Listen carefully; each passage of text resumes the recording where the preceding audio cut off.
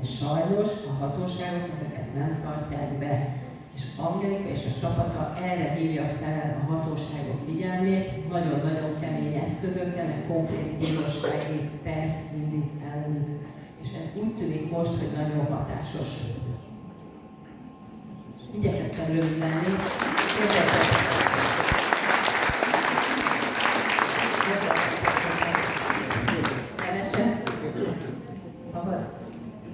Önökkel egy doktor lehet.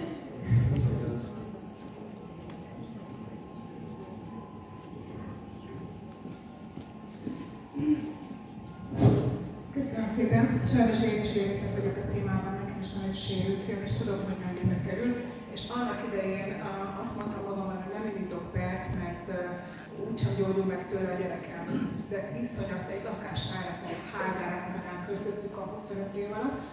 És kérdezem, hogy mennyi időn belül nem évül el egy ilyen mondjuk baleset, vagy egy ilyen, tehát az oltás beadását követően mennyi időn belül lehet még beterelni az illetékes. Ez attól függ, hogy mire hivatkozunk. Nyilván, hogy tartó, tartós egészség károsodás van, akkor igazából ki tudunk találni olyan ö, jogalapokat, amiket ö, elégülés nélkül el lehet indítani. Tehát itt ö, tág a lehetőség. Szépen, hogy Csezoltán, én veszem föl, én veszem föl a mai napot, illetve a Tamosi doktornak a tárgyalását is. Közelebb a mikrofont. És azt szeretném megkérdezni, hogy jogi szempontból, jogi szempontból az igazság, illetve tudományos tények nyilvánosságra hozatala minősíthető-e, hogy is mindenki azt e, hírterjesztésnek? Hát ezt jelen pillanatban senki nem tudja megmondani. Nyilván a hatóság ezzel ügyködik, hogy minden ilyen jellegű ö, próbálkozás az ebbe a kategóriába majd be lehessen. Sajnos az a szomorú helyzet, hogy azt csinálnak, amit akarnak igazából, és nagyon-nagyon nehéz ö, bármit is tenni utána ezzel ellen. Látjátok, gyakorlatilag a saját maguk által írt jogszabályokat nem tartják be. Ez borzasztó.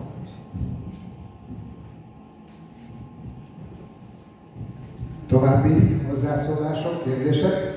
Bárkinek bármilyen kérdés Oké. lesz egyébként a Skip Egyesületnek megírjátok, meg szoktam őket kapni.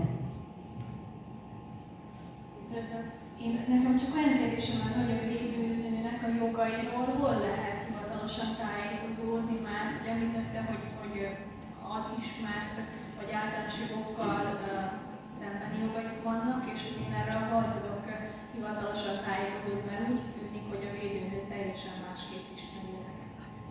Igen, a védőnőknél sajnos az a probléma, hogy sokkal több jogot vindikálnak maguknak, mint amennyi igazából van nekik, de egyébként a gyámhatóságnál és a gyermekvédelemnél ugyanez van, ezért lehet ellenük büntetőpert indítani adott esetben, mivel ők a hatáskörüket teljes mértékben túllépik. Úgyhogy, hát figyelj, ha gondolod, konkrét törvényt is tudok majd neked írni, meg fogom nézni, hogy pontosan hol vannak ezek leírva. De alapvetően az oltásokkal és az oltás megtagadással kapcsolatban három törvény van az egészségügyről szóló 97. év 64-es törvény, a járványok megelőzéséről szóló az egy NL rendelet, ez is 98-as, viszonylag régiek, és van egy 2017-es évi törvény, ami pedig a közigazgatási szabálysértések szankcióit tartalmazza de a védőnökről ezek nem szólnak. A gyám, gyámhatóságokról szóló könyvben van szó, de meg fogom nézni, hogy van egy, egy speciális rendelkezés.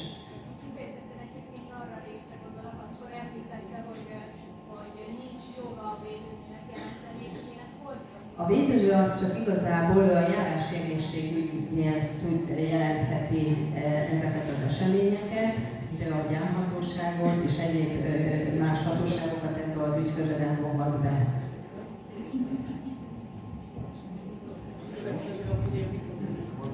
Szóljon!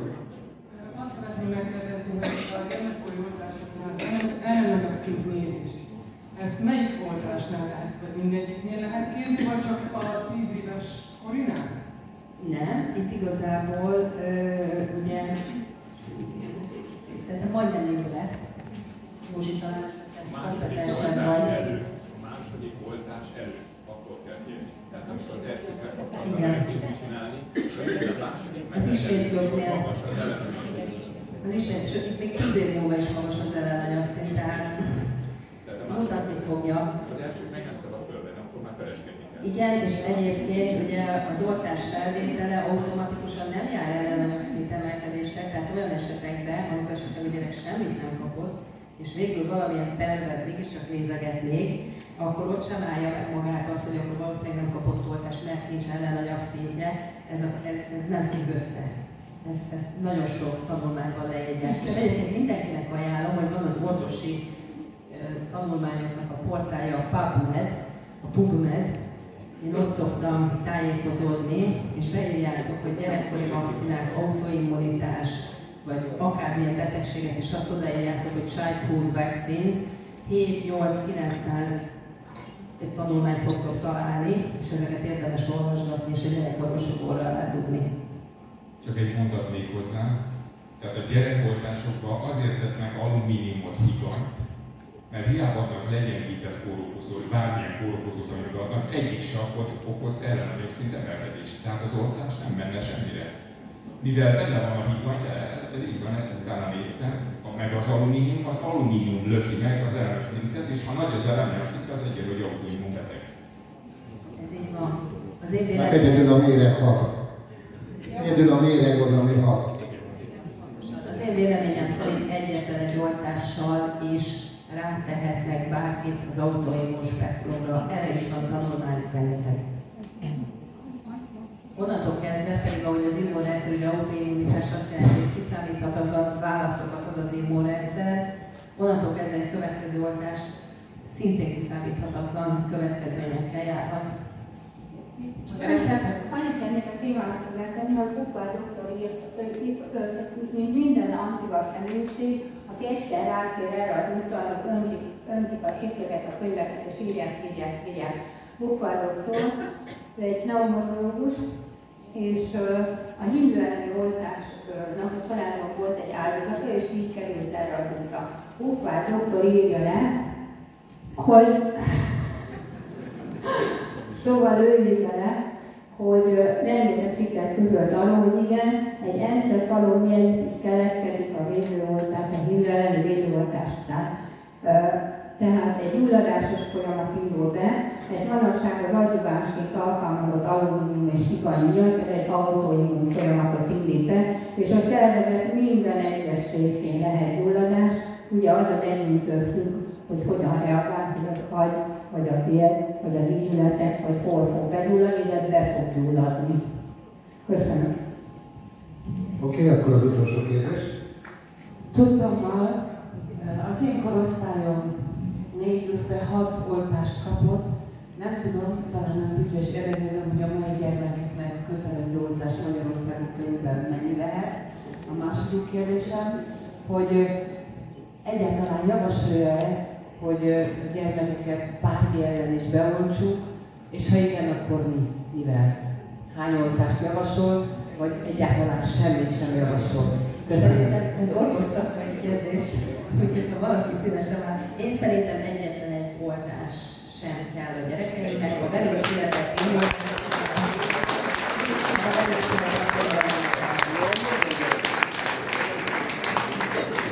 Az oltás megkerüli az immunrendszert.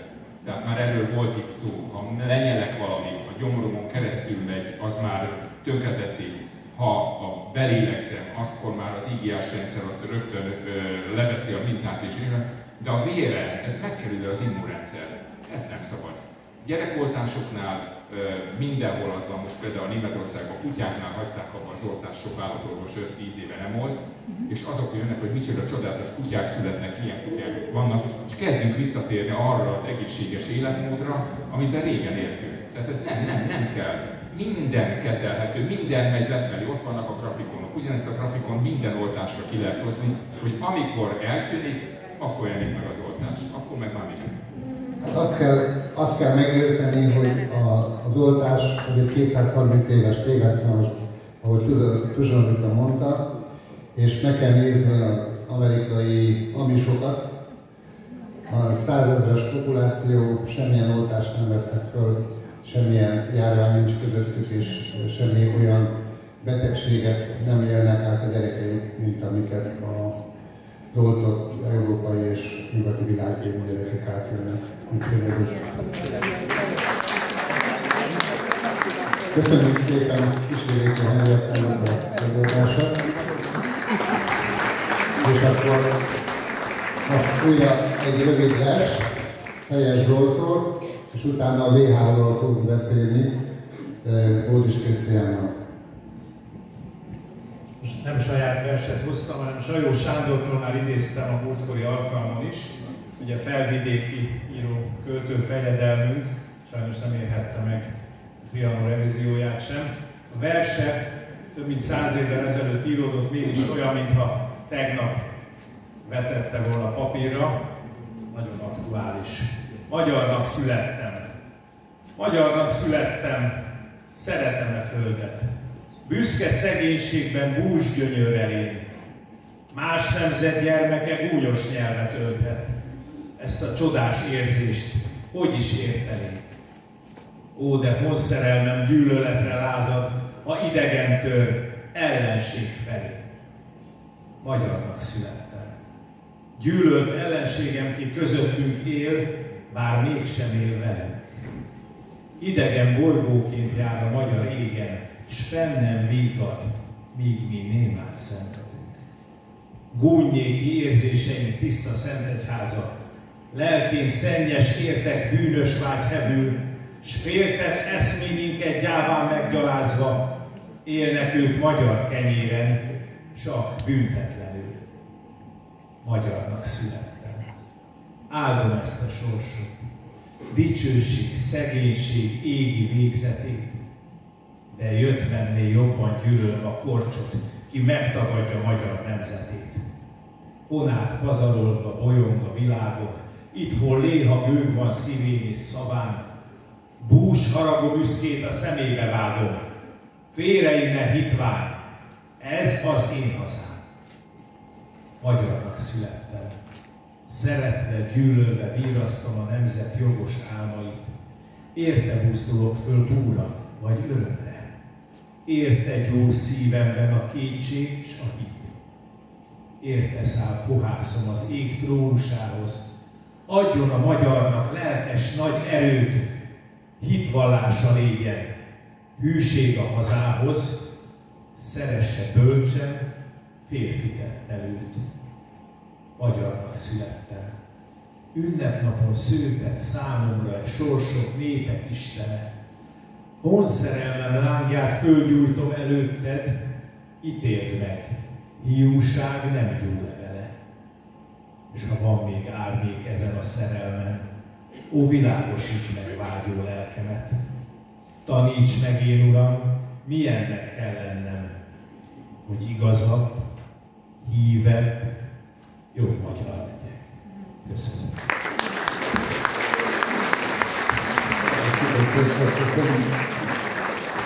És akkor, ahogy mondtam, WHO-ról, illetve jogi lehetőségekről beszélünk.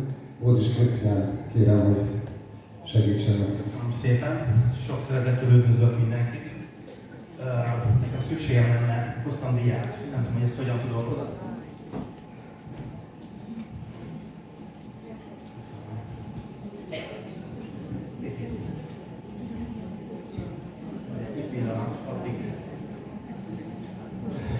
Nagyon köszönöm a lehetőséget, hogy itt felszólalhatok, mert úgy gondolom, hogy az, ami itt zajlik, az egy nagyon fontos uh, rendezvény, és az egész Egyesületnek a szándéka az nagyon összefügg azzal, amit én is hoztam. Én nem vagyok még egyesület tag, kívülről jövök, viszont nagyon fontosnak tartom, hogy a WHO-val szemben, amit csak lehet, azt megtegyük, mert uh, mindannyian tudjuk szerintem, hogy mire készülnek nagyjából mi a forgatókönyv, és egy olyan jogi lehetőséget hoztam, amit szeretnék bemutatni nektek. Erre kaptam lehetőséget.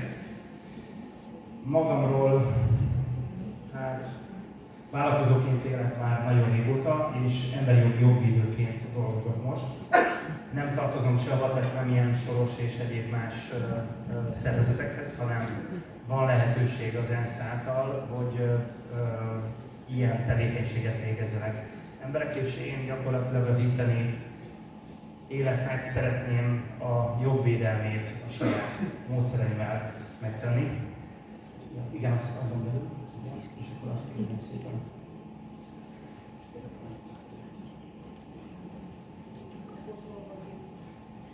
Összesen 7 dia. 10 percet kaptam, úgyhogy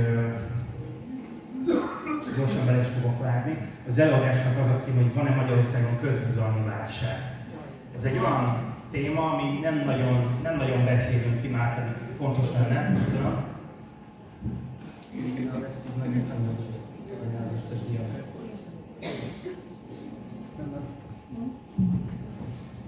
Ki az, aki úgy gondolja, hogy van közbizalmi válság?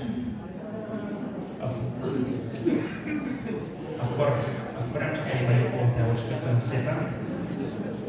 Szóval van egy téma, amit úgy hívunk, hogy közbizalom. Kérem szépen egyet a következő diát. Úgy. Mit jelent maga a szó, hogy közbizalom?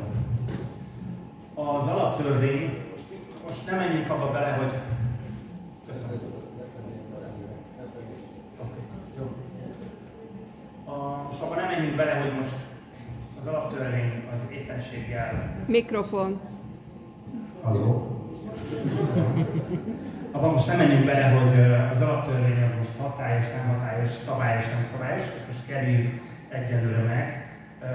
Azt a részét vegyük csak át, hogy ma a nevezük úgy, hogy a hatalom e szerint működik. Tehát ebből induljunk ki. Tehát, hogyha mi bármit is szeretnénk mondjuk úgy, hogy az állammal, a hatalommal szembe tenni, akkor az alaptörvény alapján kell nekünk bármit is megfogalmaznunk. Az alaptörvény létezik harmadik pontja szerint a közhatalom forrása a nép. Tehát létezik egy közhatalom, amit mindannyiunknak mondjuk úgy, hogy az a fajta dolga, amivel ma az állam rendelkezik, és ezt velünk szemben érvényesíti. Túl közel vagyok talán. Nem, nem. A, az alaptörvény létszítő negyedik pontja értelmében viszont ezt a nép a hatalmát, tehát ezt a közhatalmat választott képviselői útján kivételesen közvetlenül gyakorolja. Ez a választott képviselői út, ez nem más, mint egy bizalmi vagyonkezelési aktus, amit szerintem nagyon-nagyon kevesen ismernek, és ebben a formában ezt talán nem is látják. Ez az a, mondjuk úgy, hogy pont, ami alapján mindenkinek látnia kellene azt, hogy mi mindannyian odaadjunk az államnak a bizalmunkat, mondjuk úgy, hogy ilyen jogi nyelven bizalmi vagyonkezelésbe. A bizalmi vagyonkezelés az pedig gyakorlatilag meg lehet kérdőjelezni, hogy az most mennyire hűtlen vagy hű. Ja. Nem.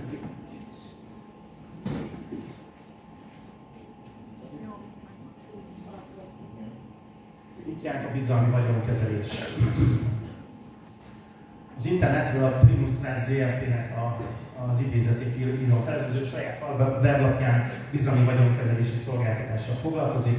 A bizalmi vagyonkezelés elsősorban a nagyobb magán és családi vagyonok hosszú távú védelmének, értékmegőrzésének és gyarapításának, ez egy nagyon fontos, gyarapításának eszköze, ami egyúttal gondos tervezés mellett jelentős adóelőnyöket is járhat. Na most ez nagyobb mag, ö, család, ez talán nemzetre is vonatkozhat, illetve népre, mert ö, ezt is fontos lesz mindjárt ö, ö, szétszedünk, hogy alapvetően a közhatalom forrása a nép. Ugye a nép az nem csak a magyar népet jelenti magára. És ebben kell nekünk egy picit majd megkülönböztetni magunkat ahhoz, hogy ténylegesen érvényre tudjuk juttatni azokat a jogainkat, amit amúgy az ENSZ alapokmánya biztosít számunkra, mi alapján a népek önrendelkezése az biztosított. Ugye ennek volt egy első talán, hogy is fejezem ki, első kezdeményezése annak, amit itt a Skita már elindított, hogy önkormányzatokat alkot, mint, Skita nép, de mint ősmagyar nép is valamilyen formán meghatározhatjuk magunkat a népen belül.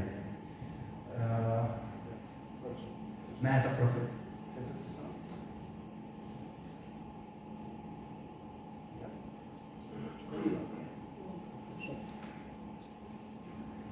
Ez volt a következő Oké, jó. Szóval, a KSH adatait nézzük meg, hogy hogy néz ki a nép, mondjuk úgy, hogy bizalmi vagyonkezelése. A, nép, a népi közhatalom bizalmi vagyonkezelése az állam által. Nagyon sokféle adatot tudnánk itt felsorakoztatni, de csak a születések számát hoztam én most csak el. 1990-ben még 125.679 új születés volt, és ez 2022-re 88.491. Tehát uh, itt körülbelül egy 33, nagyon rosszul, 37, 37 ezer, jó számom, 37 ezerrel kevesebb gyermek születik. Ez egyetlen egy statisztika, hogyha a bizalmi vagyonkezelés meghatározását az előbbiek szerint elfogadjuk, akkor a gyarapítást is nem tudjuk itt kimutatni. De nem csak a születésekkel szemben nem tudjuk ezt kimutatni, vagy nem tudjuk kimutatni a KSH, hanem a, a, a vagyoni értékekkel, illetve az eladósodással sem. Nem beszélve gyakorlatilag az egészségügyi állapotunkról, tehát az meg aztán végképp eléggé pusztul folyamatosan 1990 óta. Azért ettől a dátumtól, mert elvileg onnan van nekünk demokratikus jogunk, mondjuk úgy, hogy a vagyonkezelőt megválasztani a mindenkori kormány nevében. Ez még korai, még egy picit, vagy... Ja, értem. Oké. Okay. Én amúgy statisztikailag gondolom a, a, az orvosok itt sokkal jobb statisztikát tudnak majd bemutatni az egészségügyi állapotra, de gyakorlatilag ha azt nézzük meg, hogy az a vagyonkezelés, amit közhatalomként az állam kezel, akkor ez statisztikailag nem tűnik túl jónak. Most kérem a következőt. Jó. Akkor újra felteszem a kérdést, van-e Magyarországon közbizalmi válság? És beszéltük a KSH adatai alapján az őshonos, őslapos magyar nép, ami nincsen külön nyilvántartva a népen belül, tehát minden, minden számadat, amit a KSH mér, az, az a, az állampolgárokra vonatkozik. De ebben már ugye nagyon jól tudjuk, hogy más népek is beletartoznak. Tehát ha most itt mindannyian közösen nézzük, hogy az ős magyar, őshonos nép, az gyakorlatilag, hú, az kevés lesz, köszönöm, az gyakorlatilag ténylegesen hogyan alakult, akkor itt még a 90-es évek statisztikájában lényegesen nagyobb arányban volt míg a mai nap pedig már lényegesen kisebb, hiszen ebben már más népeknek a születését is számolják. Jó, tehát ez alapján ugye fel kell tennünk azt a kérdést, hogy hogyan teljesített a mindenkori kormány. Tehát most nem kell mutogatni, hogy ez vagy az a mindenkori. Volt-e sikasztás, volt-e hűtlenkezelés és volt-e népírtás, és ezt gyakorlatilag nekünk, mint ősmagyar, őshonos népnek kell, ős, őshonos, őslakos magyar népnek kell majd megválaszolnunk. Kérem szépen a következőt. És akkor nézzünk egy Orbán Viktor idézetet. A polgári szemle 2008. augusztus 4-i előadásában, vagy hát számában jelent egy előadásáról Orbán Viktornak, hogy magam részéről azt gondolom, hogy ráadásul a gazdasági és szociális válságot, a válság kezelhetősége szempontjából még egy újabb körülményes is súlyosbítja, ez pedig egy közbizalmi válság. Ez nagyon érdekes, mert alapvetően, igen, ez nagyon érdekes, mert alapvetően ezt ő maga mondja. Jó, hát lejárt az időm, úgyhogy nem nagyon tudok most ebben tovább menni, de lényeg, hogy van egy ilyen idézet tőle. Mondd végig. Oké, okay, köszönöm. Tehát nem csak a politikai elit képességével tett bizalma meg, hanem általában az a gondolat is, hogy lehetséges közös választást találni a magyar gazdaság legégetőbb problémáira. És akkor ezen kívül leírja, hogy alapvetően menekülni kell. Ez egy nagyon érdekes mondat, nem tudom, hogy mire utal, de az biztos, hogy azóta nem voltak a statisztikák. És akkor még egyet kérek szépen. Igen, és akkor amiért ez az egész felvezető előadás volt, hogy szükségünk van arra, vagy lehetőségünk van arra, hogy mivel ugye a WHO akarja venni az államtól a szuverenitást, mely szuverenitás, állami szuverenitás nem egyedül a nép szuverenitásával, mert az államhoz hozzá van csak kapcsolva, egy, bocsánat, a néphez hozzá van kapcsolva egy állam, akin keresztül jogilag más népekkel mondjuk úgy, hogy szerződik, de alapvetően az állam most a saját szuverenitás akarja átadni a világnak.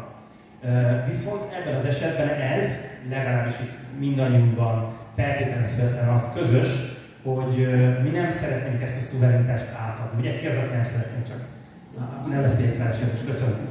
Tehát mi, mi itt abban vagyunk közösek, mi akár, mint Egyesületi Nép, ne legyen ez a fajta szuverenitás átadva. Ezért egy új, őshonos, őslakos, magyar népi közhatalmi megbízást tudunk benyújtani az államnak, az ENSZ alapokmányokra hivatkozva. Erre dolgoztunk ki egy megjelenadást, és ez hamarosan fönt lesz majd a Skit Egyesület weblapján, hogy mindenkit arra kérek, hogy aki úgy gondolja, hogy ebben szeretne részt venni, az figyelje a weblapot, mert uh, talán egy hét múlva nagyjából elérhető lesz az, hogy a Skit Egyesület központjában ezt írásba adjuk. Ez egy kicsit bonyolult és speciális folyamat, de ott vagyunk és mindenkinek segítünk, hogy a sajátját megtegye. Úgyhogy én köszönöm szépen, ennyi lett volna akkor. Köszönöm szépen.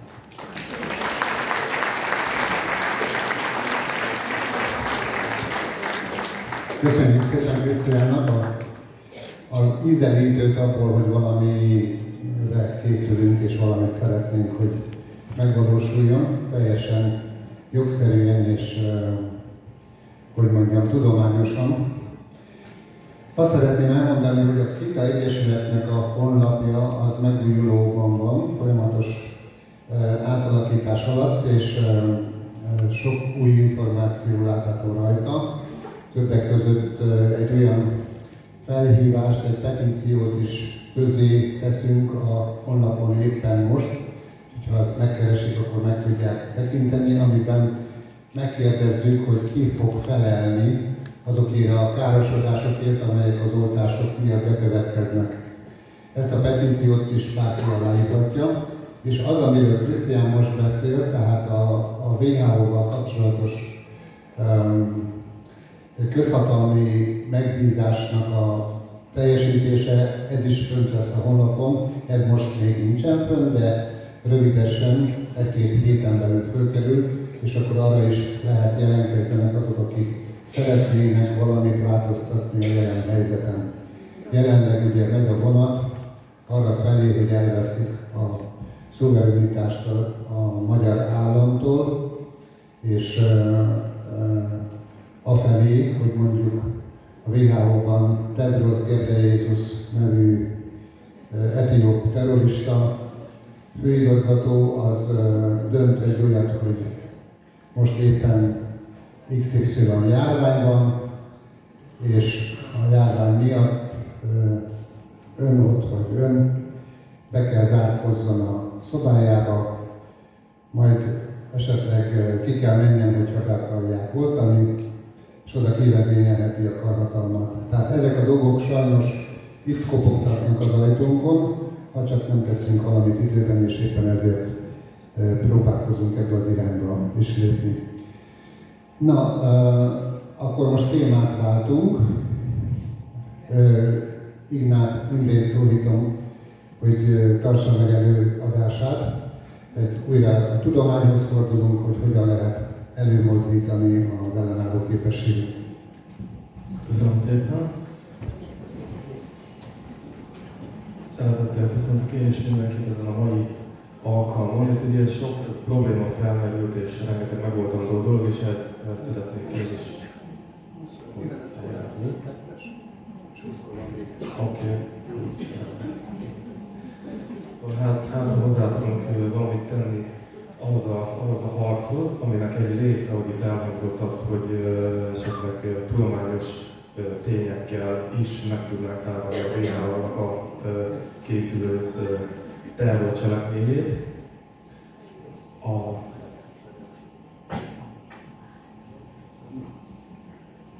Most itt, itt elhangzott hogy a PubMed, mint hivatkozási alap azért elég releváns szokott lenni az orvosi társadalomban, és én, én is ebből tájékozódom, bár szerencsére nem, nem, nem vagyok orvos, de a PhD-t azt az orvosi egyetemen végeztem, tehát biológusként végeztem, és aztán a hasnyálmegyi rákkal foglalkoztam Szegeden a általános orvostudományi egyetemnek a PhD képzésén belül.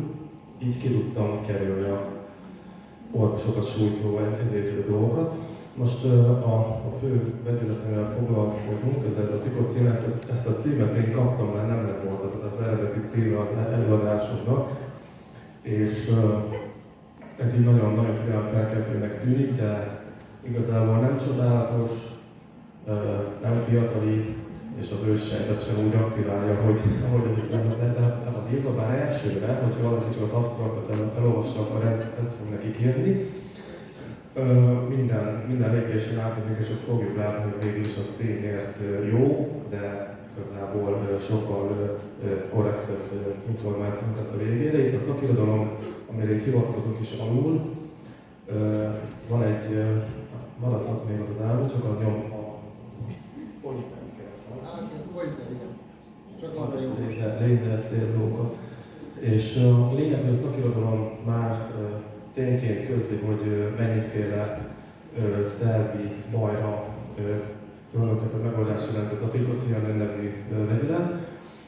És ez a rossz, ez a reaktív oxigén, ez, ez, ez ugye az antioxidáns támadása a, a szerveink ellen, tehát a membrán, stb. a oxigén szabadkökök folyamatosan támadják, és ezen a reaktív oxigéngyökök irány egy támadás segít kell.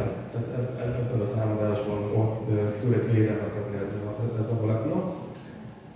Okay. És uh, tulajdonképpen ez a molekula ilyen újnak tűnik, mert 2016-ig nem, nem, is nagyon hallottunk róla, mi is csak teljesen véletlenül jöttünk rá erre a hogy ez egyáltalán létezik. Ez a molekula már 3,5 milliárd éve van velünk, és ugye hát biológusként az ember eljut a, a falig, hogy tulajdonképpen nincs más magyarázat, mint, mint hogy a jó Istennek a teremtése ez a molekula. Úgyhogy semmi újat nem tudunk, hanem régi ö, dolgokra rájönni. Ez a molekula, ez a fotoszintézisnek az alapja, enélkül nincs a Földön jelenleg élet. Tehát a napenergia, tehát ez egy, ez egy Földön kívüli energiaforrásnak a befogásához kell, és itt látható, hogy maga a cianin az részt vesz ebben a láncolatban, és a végén a napból érkező foton energiáját közvetítve, hogy ATP-t bírunk szintetizálni, ez, ez lesz a folyamat vége. És akkor ugye a növények melléktermékként oxigént fognak termelni, ami nem is olyan rossz melléktermék szerintem, de hogy ez nem, nem, nem tőlünk olyan távol ez a vegyület, ezt innen láthatjuk, hogy a hemoglobin, tehát a hemolízis során, mikor lebomlanak a alkotók, akkor keletkezhet ilyen, ilyen színű zúdódás alattunk. Ez maga a fikacionobilin. Ugye ez a fikacioninnak a nem fehérje része, és teljesen úgy működik, mint a hemoglobinnál a hem, és akkor ugye a hem az a nem fehérje része, a globin az pedig a fehér része, tehát láthatjuk is ezt a vegyületet szabad szemmel, hogyha megsérülünk. Itt majd fontos szerep lesz, hogy vírus az, az őssejt aktiválásban milyen szerepe van a vegyületnek.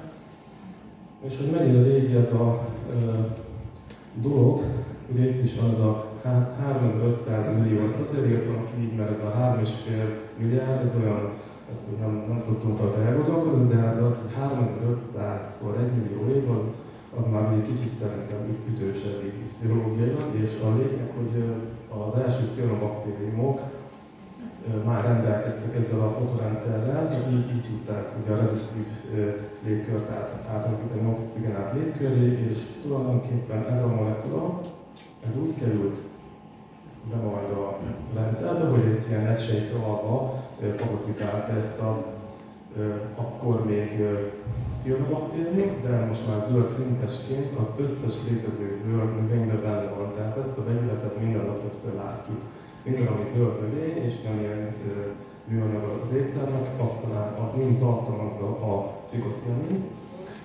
És uh, itt ezen az ábrán próbáltam összeszedni a szerkezetet, hogy miért nem jöhetett ez létre csak így uh, saját magától.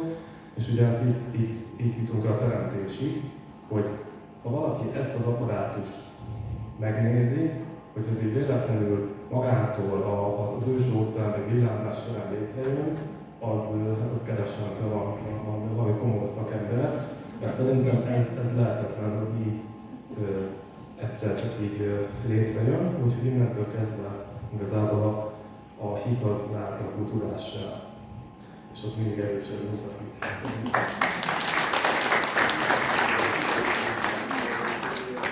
Itt, láthatjuk ennek a fikocianogén területnek a, a kristály szerkezetét, illetve a fikocianinnak, ami fikocianogénből és a fehérjéből áll.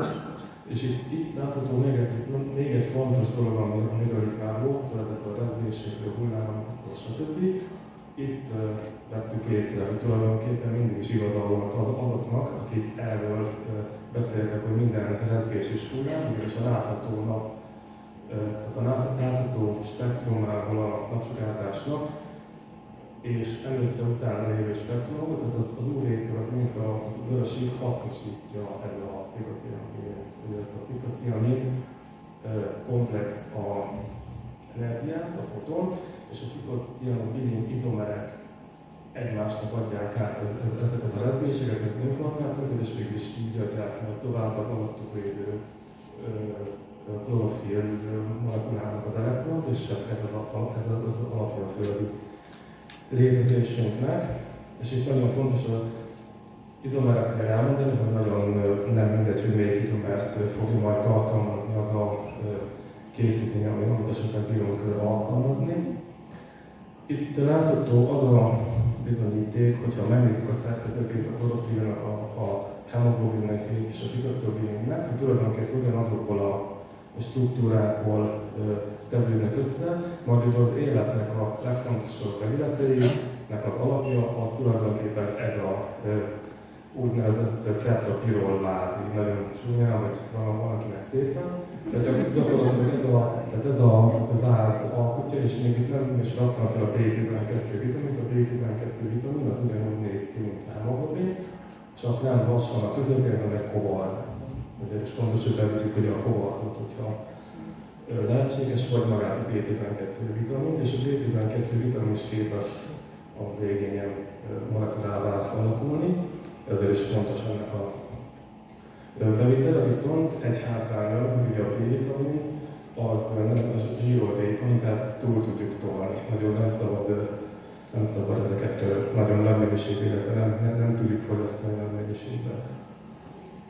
Na de hogy hogy is jutottam el ez a vegyülethez? Hát igazából kaptunk egy, egy munkát a laborban még 2016-ban, hogy fejlesztünk már ki valami gyógyszergyártó cégnek egy Alzheimer elleni olyan vegyületet, ami szintetikus és jó pénzért el lehet adni.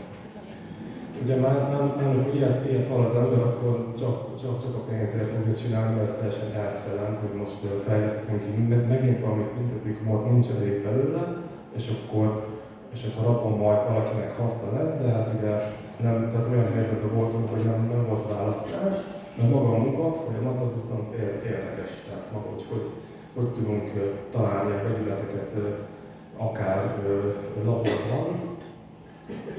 És van egy ilyen program, ami alkalmas arra, hogy én megrajzolok egy vegyületet, és azt megrajzolja három dimenzió, és azt hozzáköti egy szintén ismert fehérje szerkezethez. Tehát ez magyarul azt jelenti, és ez már teljesen elfogadott kísérleti módszer, hogy számítógépes szimulációval lemodellezzük, hogy mi történik majd a szervezetben ezzel a molekulával, milyen fehérjékhez hogy kapcsolódik. Ez, ez most már ott tart, hogy nélkül nem is nagyon szoktak közölni cikket, csak ez mindig a végén van. Ezzel kéne kezdeni, ez, ez már kezdő lépés, és nem kéne a kísérleti állatot feláldozni, meg vegyszert kocsolni, csak hát ugye akkor vegyszergyártó céget működjenek. És uh, csináltam egy ilyen uh, kísérletet, ugye nekünk az, az volt rend, hogy az Alzheimer kor ellen valamit találjuk, és azt tudjuk, hogy ezek az amiloidózisnak nevezett folyamat, az a fehér összecsatorlódás az oka az Alzheimer kornak, és hogy főnök utasítására kellett találni olyan szerkezetet, ami, ami megakadályozza ezt, a, ezt az amiloid béta összecsatolódást, és hát elkezdtünk rajzolgatni a kollégákkal, már másfél hónapig rajzoltuk különben a szerkezeteket, és a végén, most még itt a programról, hogy ezek az adatok, ezek, ezeket most nem részletezem, de mi ebből látjuk, hogy mi az, ami jó, mi az, ami méreg, mi az, ami nem fog használni, és akkor ez alapján lehet szűkíteni már erre egy gyógyszer kutatásra, hogy mi az a kísérlet, amit ne végezzenek el, mert már a modellezésből látszik, hogy nem fog, nem, fog eredményre vezetni. Itt teljesen most nem, nem megyünk bele egy szakmailag, de meg tudjuk nézni atomi szinten, hogy az a kis molekula hogy fog kapcsolódni a fehérjéhez, milyen erős kötéssel, milyen helyen, tehát is sztérikusan is, hogy most az aktív kötő, vagy ha ez egy enzim lenne, akkor az aktív centrum, centrumba kötődik, ha mondjuk tüskefehérjét nézünk, akkor a epitóp részhez kötődik, tehát az AC2 felismerő helyhez fog-e kötődni a molekula, vagy nem. Tehát ez, ezeket meg tudjuk nézni ezzel a modellel, és uh, még szemléltetni is tudjuk esetleg, hogyha oktatási célral történik, hogy ugye a hallgatók lássák, hogy milyen mi hogy megtanulták ezt a rengeteg kötési formát. Itt látható a munkafolyamat, tehát indultunk a kurkuminből, metilénképből, és ugye folyamatosan rajzoltuk a szerkezeteket, ezek ilyen nagy lépések, majdnem egy 6 héttel itt a folyamatok között, és a, egyre hatékonyabb, tehát ahogy rajzoltuk a szerkezetet, és rátokkoltuk a, ezekre az amiloid fibrilumokra, egyre hatékonyabb lett a kölcsönhatás, és a végén elérkeztünk egy szerkezetig, ami így nézett ki, és onnan tudtuk, hogy most már ez, ezt megtaláltuk, és ez lesz jó, mert bármit változtattunk rajta, rosszabb lett a végeredmény, magyarul ez, ezt úgy, úgy, úgy lehetne elképzelni, mint amikor beállítjuk a tárcsát, és tekerem, tekerem, már látom, hogy teljesen éles a kép, és akkor az még tovább tekerem és, és már látom, hogy homás, akkor visszatekerem. Tehát ezzel bármit csináltunk, csak, csak rosszabb lett. És akkor nagy örömmel vittük a főnökhöz, hogy akkor megvan a csúcsmolekula, és ilyen, ilyen unottan megkérdezte, hogy megnéztük el adatbázisból, hogy létezik-e már ez, ez a vegyület. Hát nyilván visszakullottunk, megnéztük, igen, létezik természetes vegyület. Ez, ez, ez volt a 3,5 milliárd éve létező fikracionabilium, úgyhogy végül is majdnem annyi dolgot sikerült felfedezni, csak ennyit maradtunk le. És gyakorlatilag itt, itt látható az a amiloid struktúra, amihez ugye modelleztük, csak ez, ez már a plak ez, ez, ez, ez már teljesen az Alzheimer kort okozó struktúrája.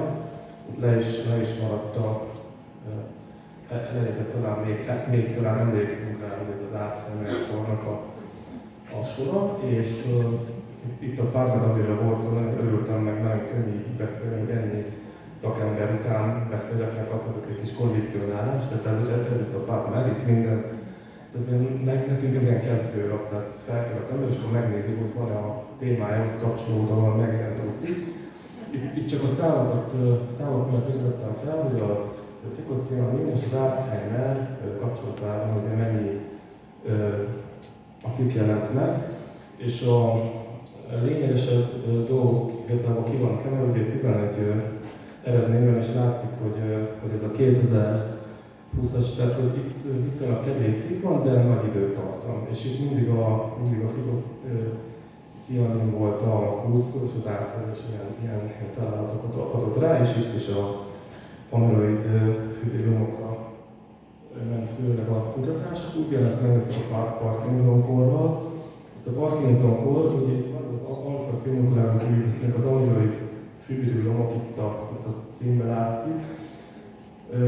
Itt is a, ez az, ez az ALS betegség, meg a kettes típusú diabétesznél is egy az a probléma. A kettes típusú diabétesz esetében a döntő többség amiatt szenved, hogy a inzulin az egy dipeptid, és ez ugyanúgy képes agregálódás, mint az, amit az amiloid szállat. Tehát, hogyha én beinjekciózom, vagy hirtelen eszek cukrot és rengeteg inzulin felszabadul egy helyre, és nem mozgok, tehát a véráram viszonylag ők most attól szekundumokba kell ugye gondolkodni, de hogy lassan fog onnan el fogyni, ott lesz egy helyi nagyon magas inzulin koncentráció, és maga az inzulin hajlamos arra, hogy agregálódjon, és ezt is meg tudja akadályozni a figocinodin.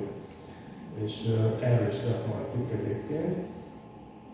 De most ide ugrottunk hirtelen, hogy ez az endokannabinoid rendszer, ez ilyen tudománytörténet érdekesség inkább nálunk, mert itt van két receptor, itt az a lényeg, hogy a CD2-es receptort, ha aktiváljuk, akkor meggyógyulunk, röviden, ezekből a betegségekből, nagyon röviden, és ha a CD2 vagy a CD1-et aktiváljuk, akkor pedig ezt nevezzük a slang a betépésnek, tehát ez itt a pszichoaktív útvonal. Most a legtöbb vegyület, amit próbálnak ennek a endokannabinoid rendszernek a stimulálására, stimulálására használni, ez úgy működik, hogy adnak egy gyógyszert arra, hogy lezárják ezt a kaput, adnak egy CD blokkolót, és utána adnak egy THC analógot, és akkor az már ugye csak a gyógyító hatást fogja tudni művelni, és tulajdonképpen így, így lehet gyógyítani ezekkel a olajokkal, és a CBD olaj egyébként ezért is jó, mert ott az már majdnem, már, már majdnem jó, nem kell mellé a C1 gátló. Most a gyógyszergyárok is ezt nagyon jól kihasználnak, és ennyiféle molekula van arra, hogy itt lát, láthatunk, hogy endo, és fikokannabinoidok, kannabinoid receptor, agonisták, antagonisták, stb. mindenféle molekulával kísérleteztek, hogy elő mondott dolgot, tehát hogy ezt, ezt lezárjuk, ezt aktiváljuk, beindítsuk ezeket a gyógyulási folyamatokat, amik ugye ez a betegségekről való gyógyulást jelenti. És ennyiféle molekulával próbálkoztak, mindegyiket igazából meg kellett néznünk, és sehol nem találtuk a figacilopidint, és én kizárnak tartom, hogy ők ne tudnának erről, hogy ez, hogy ez létezik. Egy, egy oka van, nem használjuk, hogy természetes vegyületet nem lehet levédeni. Nincs belőle haszna, az szabadalom, tehát hogyha ő ezt forgalmazza, akkor az összes többi kidobhatja a úgymond a kukába. És emiatt jutottunk arra, képet itt, tehát sokkal nagyobb az esélye, hogy szándékosan nem csinálnak valamit, mint hogy, mint, mint ugye a tudatlanság. Mert aki már ilyen molekulákat tud szintetizálni, az szinte kizárt, hogy gondolkodott ebbe a molekulába. Ugye volt rá három és fél játék, hogy rájöjjünk. Most itt láthatóak a forgalomban lévő gyógyszerek, ugye itt a Big Pharma, ugye a Pfizer meg, megpróbálom eltalálni pontosan a szemek közé. Tehát, hogy itt láthatók a, a gyártók, illetve a, a használt komponentok, tehát ezek a vegyületek. Tehát ennyi, ennyi tehát ennyi gyárnak és terméknek lehetne kárt okozni, hogyha a fikacionoként használnak. Tehát nyilván nekik anyagilag jobban megéri ezeknek a piaca, meg az ezek, ez, ezeknek a mellékhatásai, akik fejlesztett további túlszaknak forgalmazása, mint hogy megoldanák egy molekulával. Tehát ez, ez, ezzel nem is akarok több időt eltetni, mert rossz, rossz a rezgés, már rámegyek is tényleg. A másik ilyen az ugye mi próbáltuk ezt a úgynevezett endokannabinoid tehát amit az előbb megmutattam, hogy mennyi kárt tudnak okozni, annak ez a háttere, hogy megcsináltak ezeket a modellezős kísérleteket a CV2 aktiválása kapcsolatban, hogy képes-e a fikocianobin ezt, ezt valóban véghez vinni. És meg, meg voltak a dokkolási eredmények, meg volt hozzá a szakirodalom, és akkor én ezt 2022. február 12-én egy konferencián le is vezettem, tehát er, erről volt egy előadás, csak, csak erről a témáról, tehát az endokannabinoid rendszerről, és hát volt is próbálkozás, hogy esetleg vagy itthon, vagy Amerikában megcsinálnák ezt a kísérletet, ami arról szól, hogy, hogy igaz-e az én feltételezésem, amit mondom 22 februárban keletkezett, hogy jó lehet ez a fikocianabin erre az endokannabinoid rendszerre, és hát meg, megjött a válasz, itt le is, tehát megjött a cikk, itt van lefordítva. Gyakorlatilag 2022. szeptemberében lekezeltek egy cikket, aminek a címében benne volt a kérdésemre a válasz. Hogy igen, ez egy szelektív. Tehát a maga a fikocianin ugye úgy, úgy segíti ez, és egy gyógyíthatatlan betegség a mai napig, ez a vastagvént, ez a IBP, ez a polikicúcozóznak betegség, és megkezdették, hogy afrikacianin, de még azt is megmagyarázzák, hogy hogy hat, ezért jó csak a címmel, az hello foglalkozni elegendő, mert hogy a kanabinoid receptor 2 szelektív, és, és, és itt ez a lényeg a szelektív aktiválásával képes. Tehát, tehát igen, eltaláltuk már megint, csak megint valaki más, más ország húz belőle hasznot. Igazából nem tudnak hasznot húzni, mert ugye természetes molekula. És ez a PubMed, tehát ez, ez bár, bármelyik orvosnak oda lehet igazából tolni az orrára, hogyha valakinek ilyen gyulladásos bélbetegsége van. És akkor megjelent még egy ilyen, ez most a következő esély, ugyanerre megjelent ez a sima Google, hogy ez meg, megjelent 70 féle ráknak az ellenszer, az AOK 1900, ez Anna Olivia Haley nevű kislány, aki meg, meghalt, 96-ban született, és a szülei létrehoztak egy alapítványt, és ugye el is nevezték a kislányra ezt a vegyületet, ami így néz ki. Ez egy szintetikus vegyület, 70 féle rákkal biztosan jó, és az alapján működik, hogy ledob egy fehérjét a, a DNS láncon, ami a DNS megkötőződéséért felel. Tehát, hogyha nincs ott ez a fehérje, akkor megáll a DNS szintézis, tehát megáll a sejtosztódás. Ugye feltétel a sejtosztódásnak, hogy az egész génállománynak is meg kell duplázódnia. Magyarul ez a kis molekula, és ez kizárólag tumorsejtek, tehát ez fontos, hogy megnézték, hogy mennyire szelektív, kizárólag a tumorsejtekben lévő DNS osztódásért felelős fehérjét kapcsolja le. Tehát ugye ez, ez volt az első kérdés mindenkinek, hogy ez mennyire szelektív, és ez elég nagy szakirodalmat, irodalmat kapott, és hát nyilván ilyen, mikor ilyet olvas az ember, és ezt egy, egy ismerősön küldte át ezt a, ezt a cikket, és hát így este, jó, akkor nézzük már meg a fikacianira, csak úgy idézőre próbaként, hogy mit, mit kapunk. És hát, hát, úgy este lehetett, valamikor 10 óra körül, de nem, nem, nem, nem adottam aznap sem, meg másnap sem. Mert olyan eredményeket kaptam, hogy, és ezt el is küldtem szerintem ott rengeteg embernek, hogy ha valami történne velem, véletlenül, akkor ez, ez, ez információ menjen már minél több emberhez.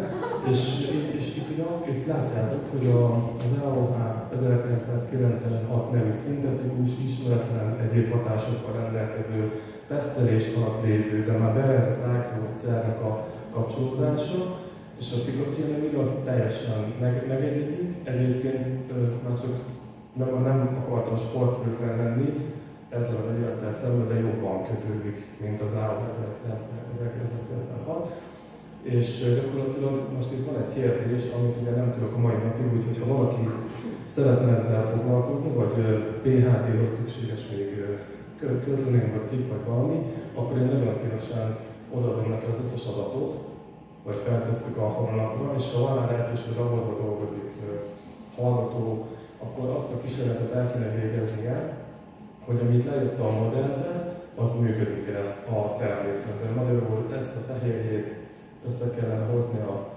fikacionálógén, és megnézni, hogy tényleg oda kötődik el, ahova mutatja a modell, mert azt tudjuk, hogy rák esetén meg megállítja a tumorsejteknek a, a, az osztódását, a fikacionálógén, ezt tudjuk, meg erről van sok közlemény, meg azt is, hogy el is pusztítja a rákos sejteket, csak nem tudtuk a hátterét, tehát ettől nem fog jobban működni a fikacionálógén, csak lenne egy magyar közleményünk erről, és akkor tudnánk ráhivatkozni, mint független közleményre, hogy ez valóban így, így van, ahogy le modelleztem. Ez egyébként egy enzimkinetikai reakció, egy délután megvan, tehát meg kell hozzá rendelni a kitteket, és akkor este kiértékel. Most, most akkor aznap nem megy a, a, a, a moziba az illető, vagy egy kocsmát kihagy, és akkor nem lesz információ meg nekünk is. Én, én nem tudom sajnos ezt, ezt megcsinálni, ezt a kísérletet, mert ugye ön igazolással nem tudok előre menni.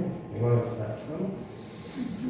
Jó, tehát ez, ez, ez ilyen felhívás is akar lenni, hogy hogy aki érez ebben, vagy ebben lát fantáziát, akkor az majd egyeztetünk. És akkor itt, itt van kinagyítva egyébként a, a eredményi számok, amikkel ez előadásunk is elérhető, ezt meg tudják nézni, meg lehet ismételni a kísérletet.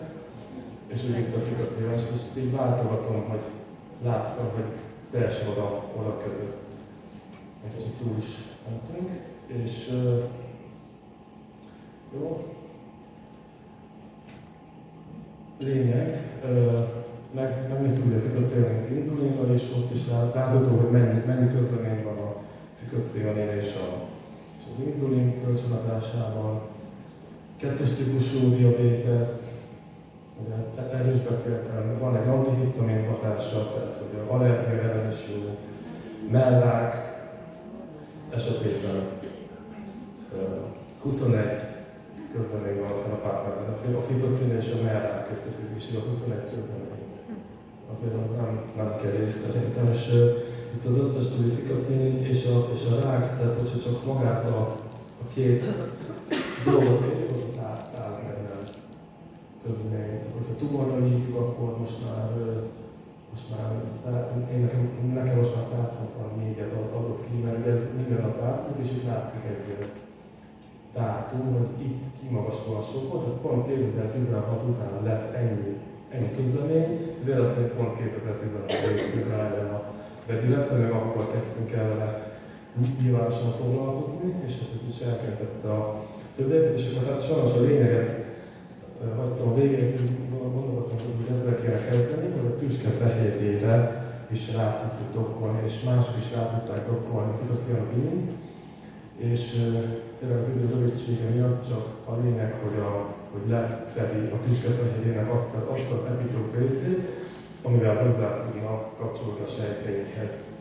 És itt van egy táblázat, szintén egy tanulás cikk, ahol a természetes vegyületeket nézik, hogy melyik, melyik lenne jó a Covid ellen, és ugye itt látszik, hogy a harmadik legjobb, mert ugye ez egy kontroll, tehát ahhoz képest a harmadik legjobban kötődő természetes molekula. Hívírus ellen is megnéztem, a időrövidsége miatt csak gyorsan, hogy analógia van a tüskefehérje és a hívírusnak a bekötő fehérje kapcsán. Itt is megcsináltam a modellezést, ez, ez a hívírusnak úgymond a tüskefehérje, itt, itt vannak a fikaciónövőn, uh, izolerek, és akkor ez, ezek közül én tudom, melyik az, amelyik jó, és lemodelleztem ugye a, a hív bejutását is úgy, ugyanúgy kártolja, mint a uh, Covid-ét, és itt lesz egy összefoglaló ábra, tehát itt ez az eredmény jött ki, és az a lényeg, hogy ezt a kapcsolatot, illetve ezt a kapcsolatot megakadályozza. Tehát ez, ez is az amyloidózis elve alapján a két fehérje szár közé befekszik, ez a molekula és nem, nem, nem tud kialakulni ez a kapcsolat, tehát nem tud bejutni a hívírus, el, el, el is van szakirodalom, és akkor nagyon, nagyon gyorsan megyünk, hogy milyen, milyen típusú betegségekkel találtam PubMed találtat, és hogy mennyi daganatos betegségek vannak itt felsorolva. Ezt majd meg, meg, lesz a felvételen, felvételen, akkor összesen 163 cikk volt, és ennyiféle daganatra van PubMed hivatkozás.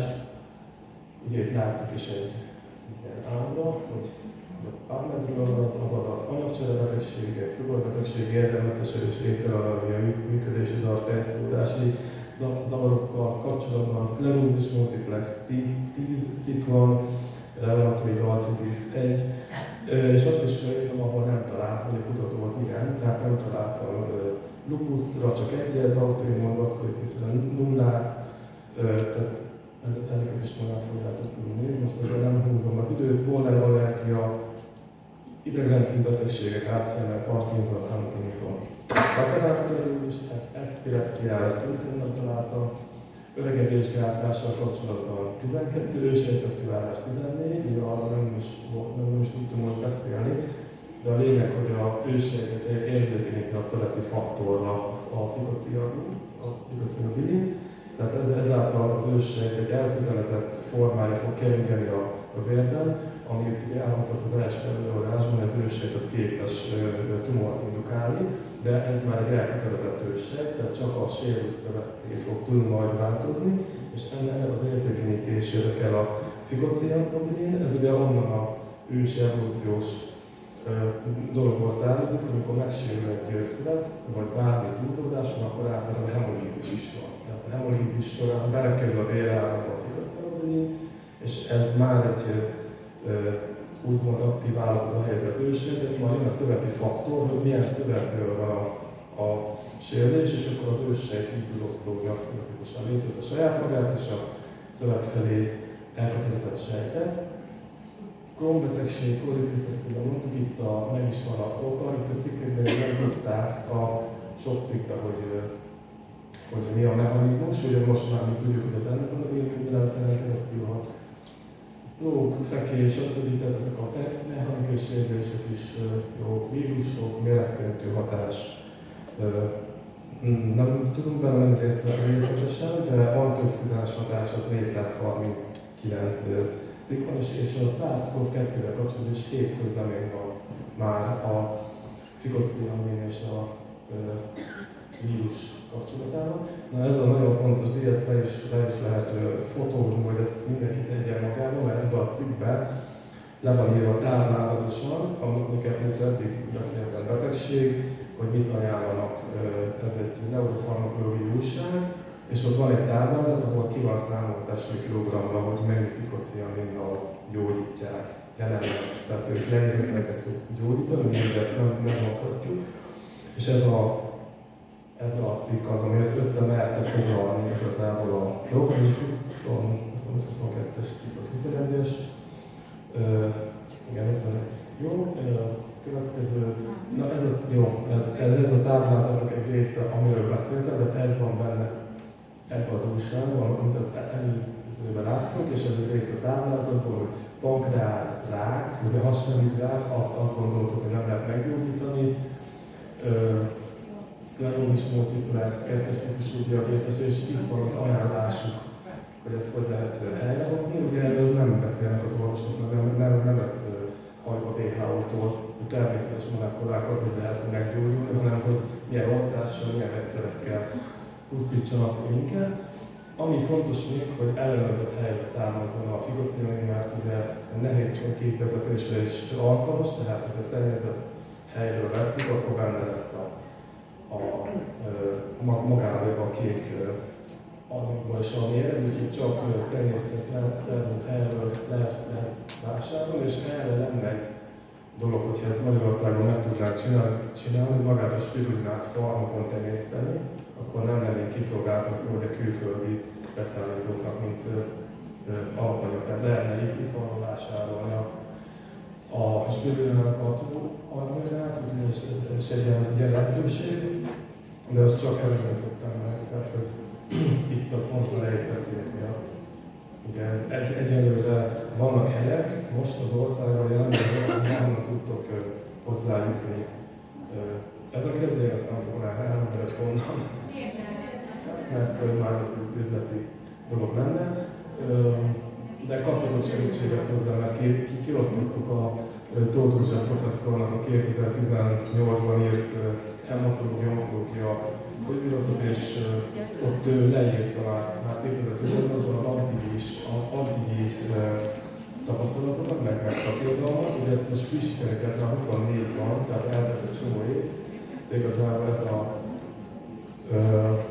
ez amit kiosztunk, hogy segít abban, hogy honnan lehet be, beszerezni ezt a dolgot. És ezt szeretném megköszönni a figyelmet, meg a türelmet, hogy még kapcsolatban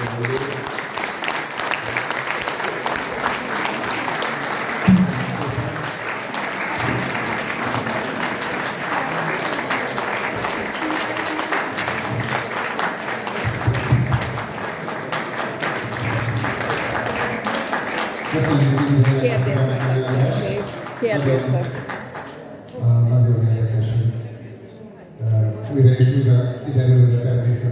Legnagyobb gyógyító, és ezeket az anyagokat jó, hogyha sorra veszünk, listázzuk, hogy mi az, amire tudunk előre lépni.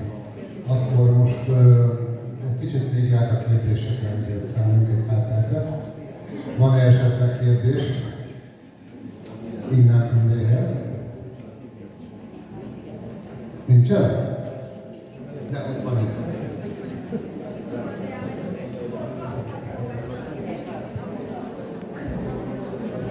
Akartam elmenekülni a kérdést, én csak azt hittem, hogy az idő az most már végre lejárt. Húszva Andrea, köszönöm szépen. Azt szeretném kérdezni, hogy terméken lehet ezt megkapni. Láttam Imrénk egy videón, ahol valami kék vizet csinált, és ezt megírta. Arra arra hogy kíváncsi, hogy hol beszerezhető. Hát, szerintem a meg, meg fog oldódni, hogy eljusson az információ, szóval én tényleg nem mondhatok ilyet hogy honnan származik, de onnan osztottunk ki szakirodalmat, és akkor ott fel lehet lenni a, a megfelelő információt. Az, az, az tényleg nagyon fontos, hogy csak ellenőrzött helyről származzon a, a, a fenti, ugye az utolsó idén láttuk, hogy mivel ez az anyag nagyon jól ki tudja vezetni a nehéz fémeket, hogy el is használjuk, ezért a természetesen megköti. Ha a baktérium olyan, olyan helyen él, hogy ez a stírodalom, akkor is bele fog kerülni. És minél olcsó egy termék, hogy annál inkább nem esett. Tehát azokon a szűréseken, vizsgálatokon, hogy ezt kimutassák. Erről csak ennyit szeretnék. Igen, van-e még esetleg kérdés? Az algán kívül milyen táplálékban van még is? Az, az összes zöld növény, a Ja, az mondom. összes, tehát saláta, minden, hogyha valaki teheti, és, és tud magában, magában tenni ennyi nyers zöld növényt, annak nincs szüksége erre a molekulára.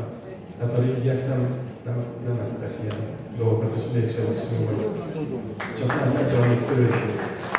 Ez ez fontos, hogy ö, 40, 41 fokon széttekeredik a fehérje, tehát de naturálódik, tehát semmiféle főzés, meg hőkezelés az, az nem, nem kell. Tehát nyersen úgy, ahogy ahogy, ahogy ez annyira egyszerű erről beszélni, mert ahogy régen volt, úgy, úgy kell mindent csinálni. Jó. Köszönjük szépen.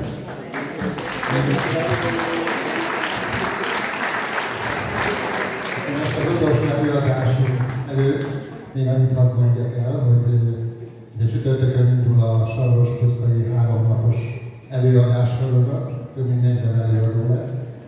A, akit valaki még eddig nem hallott róla és szeretne ezen részt venni, a Csarata cégen irandó eseményül szarata.hu weboldalon tud, tud információkat szerezni, ott van a teljes program föl, és talán még el tud jönni, mert eléggé képes a résztvevő létszámos már.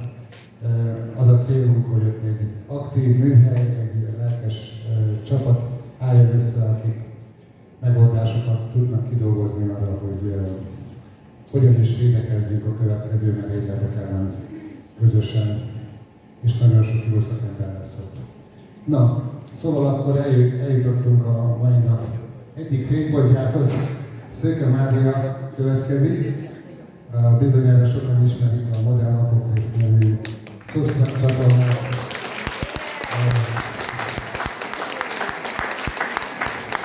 Én magam, én magam rendkívüli képességi újságírónak tartom Máriát, és akkor ne haragudjanak, hogy így ezt szemtől szembe megmondom, de azt gondolom, hogy nagyon kevés ma az, aki függetlenül, és hitelesen el tudja mondani mindazt, ami a világban zajlik, és nagyon szokimondó, nagyon sok mindenről, nagyon sok információja van, úgyhogy uh, hallgassuk bizalommal és szeretettel. Egy pillanatra, Még egy kicsit. Igen. Így is szeretettel köszöntöm. Mária Magdolnát, tudni kell róla, hogy nem véletlenül Mária Magdolna, hiszen Mária Magdolna volt Jézus Krisztus legkedvesebb embere, hiszen a föltámadáskor először neki jelent meg, és utána a többieknek. Ő ugyanezt a feladatot látja el, úgyhogy nagyon kérem, hogy aki tud majd adományozni, hoztam egy ilyen dobozt ide, akkor tegyen bele egy kis adományt, hogy még jobban működjön Erdélyben ez a újság tulajdonképpen, lehet azt nevezni újságnak. Ott is támadják, nyilván kényszerítik, hogy kevés pénz folyjon be, ha tudjuk, akkor segítsük meg, leteszem ide. Köszönöm és átadom azt.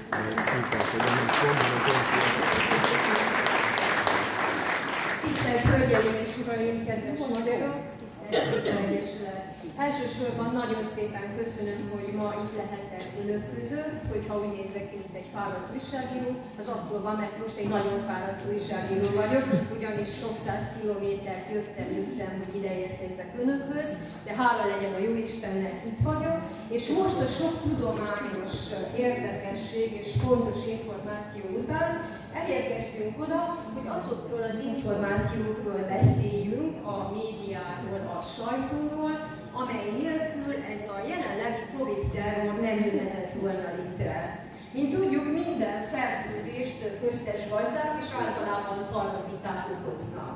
Nos, egy ilyen parazita a mai modern világban, digitális világban a mainstream média, a fősodratú média vagy lakármédia, ki hogy nevezi, amely nem tett más, mint a politikusok, a politikai behatások ösztökélésére, korrumpálására, megpróbálta az egész világot félrevezetni, félretájékoztatni, és megidézett egy olyan apokaliptikus helyzetet, mind társadalmilag, mind élettanilag, ami a média lássuk, pedig nem jöhetett volna létre.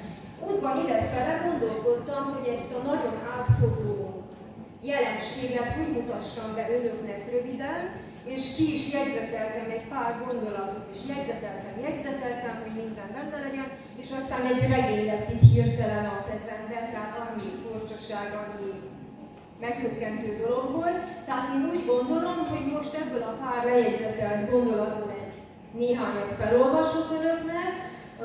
Vannak itt esetleg adatok, dokumentációt is, tehát kiírtam azt például, hogy a Gates alapítványa hány millió dollárt szánt rá arra, hogy a legnagyobb sajtóorgánokat és alapítványokat korrumpálja azért, hogy az emberiséggel elhetessék az egész Covid kamut, tehát ezt az egész média járványt, ezt a félelem pánikot, a félelem pornó, ahogy mondják az amerikai és a nemzetközi sajtóban, tehát én úgy gondolom, hogy felolvasom ezt a rövid bevezetőt, és aztán, mivel Magyarországon vagyunk, hál' Istennek még nevezhetem Magyarországnak ezt az országot, és mivel magyarok vagyunk, akkor utána rátérünk a magyar sajtónak, a magyar mainstream médiának a Covid furcsaságaira, ugyanis be kell valljam önöknek, hogy mint olyan ember, aki magam is dolgoztam valamikor réges-régen a magyar Magyarországi médiában, csak bámulok, mert az az érzésem, hogy a magyar kormánysajtó, fősodratú sajtó valószínűleg, hogy bekerült egy időhurokba, mert elfelejtették, hogy azok a hazugságok, azok a vakcina hazugságok, pandémiás hazugságok, amikkel ők parancsra etetik az emberiséget már három esztendeje, azok zöme bizony, hogy lejárt, lepetyegett, lelepleződött. Tehát én naponta meg szoktam nézni a magyar sajtót, beírom oda hírkeresőre, hogy Covid, és úgy adja ki nekem a híreket, mint hogyha mi se történt volna. Tehát, hogy mindig szét kell nézzek, hogy valóban még mindig itt tartunk. Sehol a világon nincs még ilyen a nemzetközi sajtóba, mint ez a jelenség, ami itt tudok, a Magyarországon zajlik. Mielőtt rátérnénk erre, egy pár szót elmondanék arról, hogy hogy kerültem be ebbe a társaságba, akik szembe mentek a kezdetektől fogva ezzel a megfélemlítéssel, félretájékoztatással, tudatos pánikoltatással, ugyanis mint tudjuk, a félelemmel átítatott társadalom, a megfélemlített ember az, akit a leginkább lehet irányítani. És itt a félelmem volt a hangsúly, hogy pánikot keltsenek az emberek között, hogy rettegést szítsanak, mert a rettegő ember az ritkán ellenkezik. Erre alapozódott az egész. Én New Yorkból érkeztem haza, tehát nekem a családom, a férjem New Yorkban él, és már 2019-ben láttuk azt, hogy valami nem stimmel. Tehát itt zárójelben megjegyzem, hogy nagyvállalú születésű, Parciumi erdélyi magyar újságíró vagyok, tehát egy percig nem szüntem meg magyar újságírónak lenni, akkor sem, amikor amerikai született feleség lett tehát állandóan visszajártam, állandóan figyeltem, tehát én úgy érzem, hogy ahol egy magyar van, ott érdemes megszólalni és érdemes kommunikálni. Ami nagyon érdekes volt, 2019-ben New Yorkban, a kínai negyedben elkezdtek az emberek beszélni, mindenfélét beszélni. Egy furcsa járványról beszéltek, egy világlezárásról, amikor nem lehet utazni, és a kínai negyedbe egyből feltűnt a sok-sok maszkos kicsi kínai, akik azt állították az embereknek, hogy jó lesz vigyázni, mert valami nagyon furcsa dolog történik a világban. Hát senki nem hitt eleinte nekik, mert hát ugye annyi furcsa dolog történik a világban.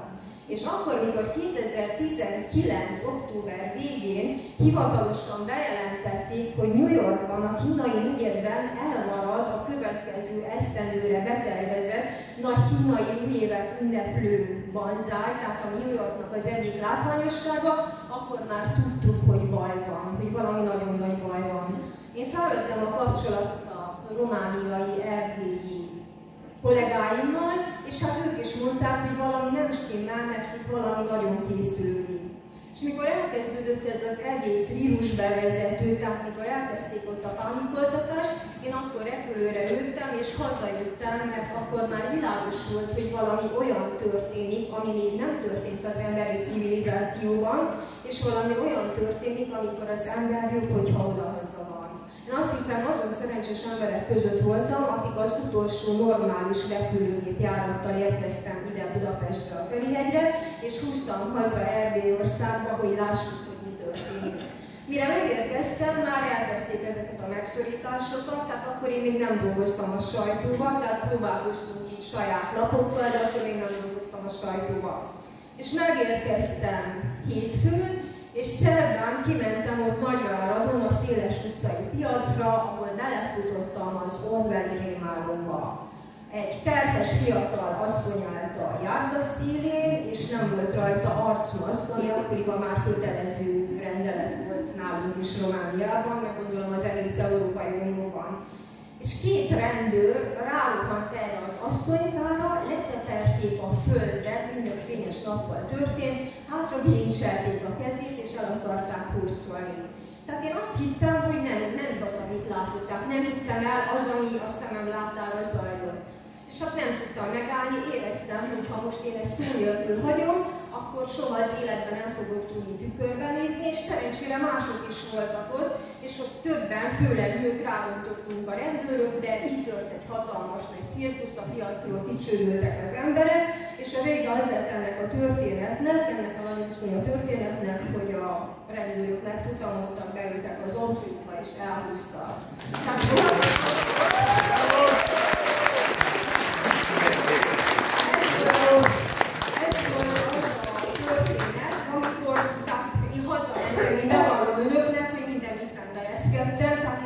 tudtam volna elképzelni. És és megszólalt a telefonom, hogy Szerusz Mária, láttuk, hogy hazajöttél, ugyanis az ottani mainstream média nem mulasztotta el, hogy leközölje, hogy megérkezett az őrült magyar újságíró, aki neki ment a rendőröknek. És innen tudták meg az emberek, hogy hát Szőke Mária hazaérkezett New Yorkba, és akkor Isten tudja, hogy itt ez a bolond feljelnék miket fog csinálni. És ez volt egyik nap, és két nap múlva megkeresett egy politikus ismerősöm, egy román politikus ismerősöm, és azt mondta, hogy hát hallották, hát nehéz volt nem hallani, mert a román mainstream azok levette volna, le akarta venni rólam a keresztüzet, és látták, hogy hazajöttem, és hogy meg szeretnének keresni, ugyanis a román emberek, orvosok, ügyvédek, egyházi emberek, sajtó úgy döntöttek, hogy ez a készülő rémség nem szabad felkészületlenül érjen bennünket, és igenis meg kell szervezzük azt a sajtót, ami szembe megy azzal a hazugságáradattal, ami már be volt készítve nem csak Romániában, nem csak Magyarországon, hanem globális szinten az egész világon. Én találkoztam ezekkel a román emberekkel, és megkérdezték, hogy hajlandó vagyok-e veszelni a csapatba, és elkezdeni azt, hogy a félretájékoztatások helyett tájékoztatunk. Tehát, hogyha egy kicsit durván akarnák fogalmazni, megkérdezték, hogy beállunk-e a csapatba, akik megyünk és szélen szemben is Hát én mondtam, hogy tulajdonképpen ezért jöttem haza, úgyhogy hajrá, és ebből elindították, elindították az Informácia Libéről nevezetű román hírportál többek között, de emellett még legalább 5-6 olyan egész országban hírportál sajtóorgánum támad föl a hanvaiból, akik azt vállalták, hogy valós információt szállítanak az embereknek, szembe velünk ezzel az egész hazugságálladattal, és akkor én azt mondtam, hogy a mikrofon nem tartom jól, doktor úr, vagy miért tűnt nekem? De azt hiszem, hogy van a bajban, mert ezekkel a tartós mikrofonokkal mindig gondom van. Tehát én azt mondtam, hogy oké, én elvállalom azt, hogy a román cikkeket szerkeztem, és ott irányítom, hogy mi hova kell menjen. Egy feltétellel, hogyha ezen a felületen kapok egy magyar részt is, hogy az én magyarjaimnak bárhol a világon ezeket a híreket, amikkel a románok akartak és tudtak is védekezni, le tudjam közölni. És akkor azt mondták, hogy jó, van, és akkor így született meg az információ liberének, azaz a szabad sajtó, a szabad információ magyar fordítva, így született meg a magyar verziója, és valószínűleg, hogy önök között is van olyan, aki már ott találkozott ezekkel a cikkekkel. És hát ez, ez tényleg egy olyan történet volt, hogy mentünk, hát nekünk is rengeteg ilyen botrányunk voltak, persze nem hogy senki szólja, hogy nyugodtan hősködjünk, de az volt a szerencsém, hogy a románok valamiért nem voltak hajlandóak öngyilkosok lenni. Ha már összeszedtek maguknak egy olyan szép nagy országot, mint Románia, hát akkor csak nem hagyják, hogy a mondjuk úgy fog elvegyék tőlük. És ez volt a mi szerencsém. Másik szerencsénk az volt, hogy ott a parlamentben még működik a pluralizmus, tehát voltak olyan képviselők, akik azt mondták az EU-s parancsoknak, hogy rendben van, de erre tudományos magyarázatot kérnek. Erre majd a későbbiekben visszatérek. És akkor elkezdtük ezt az egész háborút, ezt az egész szélveszembe kísérést, és ez tényleg ment egy évig, másfél évig, és hát láttátok, és ez volt az érdekes dolog, hogy bár román néven futott ez az oldal, nagyon sok magyarországi ember találta meg ezt a honlapot, és kezdték el olvasni, és kezdték el visszajelezni az ő észrevételeiket. És így lassan, de biztosan az erdélyi magyarság, a világmagyarság és a magyarországi magyarság legnagyobb többőre úgy összetalálkoztunk. És én annyira boldog voltam, amikor láttam azt, hogy száz szerkesztőségi e-mail közül 70 legalább az anyaországból jön, és érkezik Amerikából, Ausztráliából, azt mondtam, hogy na jó, akkor a magyarokban még, még mindig van lélek és van gerinc, és akkor próbáljuk meg. Na ez ment körülbelül másfél-két évig, egész addig még nyilvánvalóvá vált, hogy amit csináltunk, azt jól csináltuk, jól mentünk szembe ezekkel a történetekkel, és akkor azt mondták nekem, hogy nagyszerű, de hát akkor most már ők úgy gondolják, hogy csak a román részét tudják támogatni és fenntartani az információ idejére, és azt viszont rám bíznák. És én mondtam, hogy köszönöm szépen, nem kérem. Tehát én ezt az egészet azért vállaltam el, hogy magyar nyelven is legyen valami alternatíva a Covid sajtóval szembe, és akkor búcsú, érzékeny búcsút vettem tőlük, de hát a kapcsolatok, a források már megmaradtak, és akkor eldöntöttem, hogy na jó, akkor csinálunk valamit, amit csak magyarul, csak a magyar embereknek, csak a gondolkodó magyar embereknek fog szólni. És ez lett a modern apókrif. Mikor megbeszéltük ott a munkatársaimmal, hogy mi legyen a címe, akkor arra gondoltam, hogy ezekben a furcsa, gonosz, globalista, sátánista időkben, amikben éppen élünk, hát meg kell azt a bibliai hasonlatot találjuk, amikor azt írjuk meg, amit nem szeretnénk, hogy megírjanak. És így jutott eszembe az apokrif iratok. Mária Magdalának az egyik fő erőssége, azok az apokrif iratok, amit a Vatikán 2000 év óta próbál rejtegetni az emberek elől. És akkor azt mondtam, hogy na jó gyerekek, mi itt vagyunk modern újságírók, és akkor megcsináljuk a modern apokrifot. És akkor így lett ez a furcsa címe, sokan kérdezték, hogy de ez mit jelent? És mondom, hogy semmi van, gondolkodjál, és akkor előbb-utóbb rá fogsz jönni. És akkor belecsaptunk ebbe az egész történetbe, és legnagyobb örömömre, és egy kicsit úgy meghökkelve is néztem, hogy nagyon hamar, két-három hónap alatt több ezres olvasó közönség gyűlt össze a modern apokrifeknek a hírlevelére és az oldalára. Nekünk is ismeretlen volt ez a fajtája a Substacken az újságcsinálásnak, viszont ez volt, és azt hiszem, hogy mai napig ez az az egyetlen olyan lehetőség, ami megkerüli, és nem megkerüli a hivatalos cenzúrát, nem tudnak beleszólni, és azt írhatok meg, amit éppen akarok. Tehát persze a józanész és a dokumentáció szempontjából teljesen korrektül. Tehát így született meg a modern apokriffek, és végül is úgy látom, hogy jó úton haladunk, és remélem, hogy ezt az egész sajtó ellenállást, hogy így fogalmazzak, tudjuk majd folytatni, és nagyon örülök annak, hogy a Szkite Egyesület fölvette velem a kapcsolatot és meghívtak ide, ugyanis olyan világban élünk, amikor az információ nem csak hogy hatalmas kincs és hatalmas fegyver, de szó szerint élet és halál kérdése. És ezt gondolom, önök is megtapasztalták és tapasztalják a mai napig. Tehát pillanat, itt nézem, tehát igen, érdekes még, hogy tulajdonképpen mi történt. A megvásárolt politika, a megvásárolt kormányok, a már régen megvásárolt kormányok két mérgezett tőrrel támadtak a társadalomra, a polgárokra. És ez a két mérgezett tő az orvostársadalom, a megvesztegetett judás orvostársadalom volt, tisztelet a kivételnek, mert szerencsére azért látok itt a soraimban is olyan embereket, akiket nem lehetett megvesztegetni, tehát a megvesztegetett orvostársadalom volt, és a másik mérgezett tőr, amit a hátunkba szántak döfni, pedig a megvásárolt mainstream média a főséglatú sajtó volt. Tehát mikor láttam a legelején, hogy elkezdték ezt a Covid pandémiás propagandát nyomni, valahogy úgy éreztem magam, hogy az a patikus érezheti magát, aki megtanulta azt, hogy hogy kell mérget keverni, ő nem használja a mérget, de látja azt, hogy a többi patikus mérget ad az embereknek. Tehát tudtam azt, hogy hazudnak, láttam, hogy hazudnak, tudtam azt, hogy hogy kapja meg minden szerkesztőség, minden megvásárolt szerkesztőség ezeket a hamis információkat. Tehát egy hónapra előre megkapták a szerkesztőséget a Covid, hogy egy hónap múlva hány Covid halott lesz.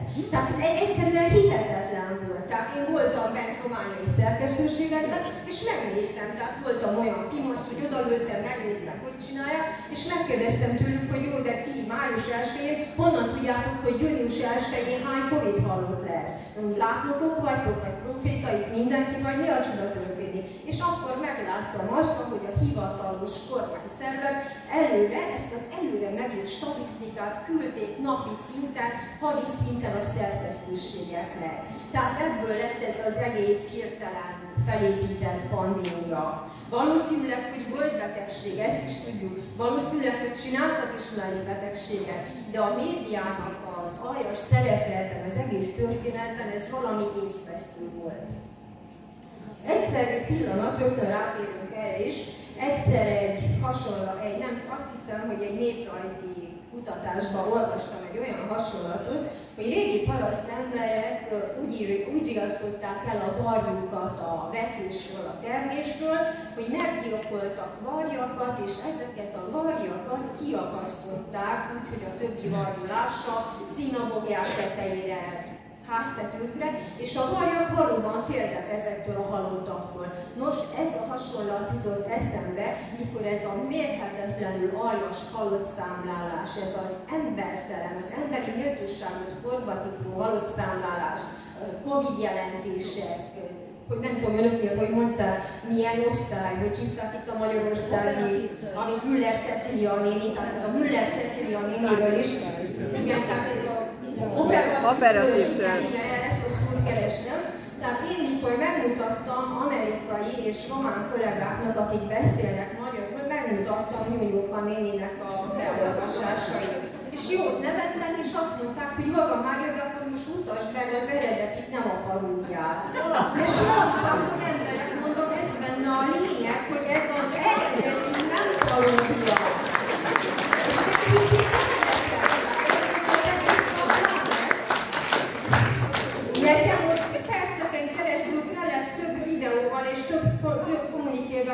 Kellett igazoljam, hogy nem gyerekek, ez igazi. És akkor megkérdezték tőlem, hogy na jó, akkor mondjátok el, hogy milyenek azok a magyarok, akik ezt elviszik. Tehát azt mondtam, hogy passzák, én sem tudom. Tehát a román kormány az elővette egy ilyen szép fiúkát, egy ilyen már Szilegi Ornice nevezető szép fiúkát, felöltöztették katonai egyenruhába, és nálunk ő volt a hivatalos hazudozó. De volt valami sár, ugye ez, ez, ez, ez egy úgy volt, hogy ez, ez egy olyan jelenség volt, hogy engem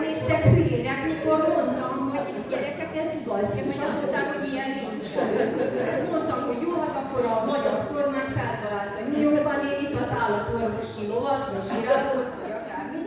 Ez van. És a másik dolog az, amire nagyon érdekes módon föl kellett figyelni az egész magyar mainstream médiában, az a celebeknek a bevonása ebbe az egész médiavariának a Kérném a képet, ami ön előtt van, azt hiszem, hogy ez a celebes kép, ugye? Igen, tehát nézzük meg ezeket az embereket. Miről beszélünk? Van egy olyan helyzet, amikor a hivatalos orvosokat, hogy így fogalmazza, amikor a végzett szaktekintély orvosokat, akik fel akarják emelni a szavukat, a tudománytalan, teljesen a járványügyel ellentmondó hazugságokat, azokat konteósoknak minősíti. És akkor mi történik? Jön egy pár négy osztályos szájú celebecske, akik vannak a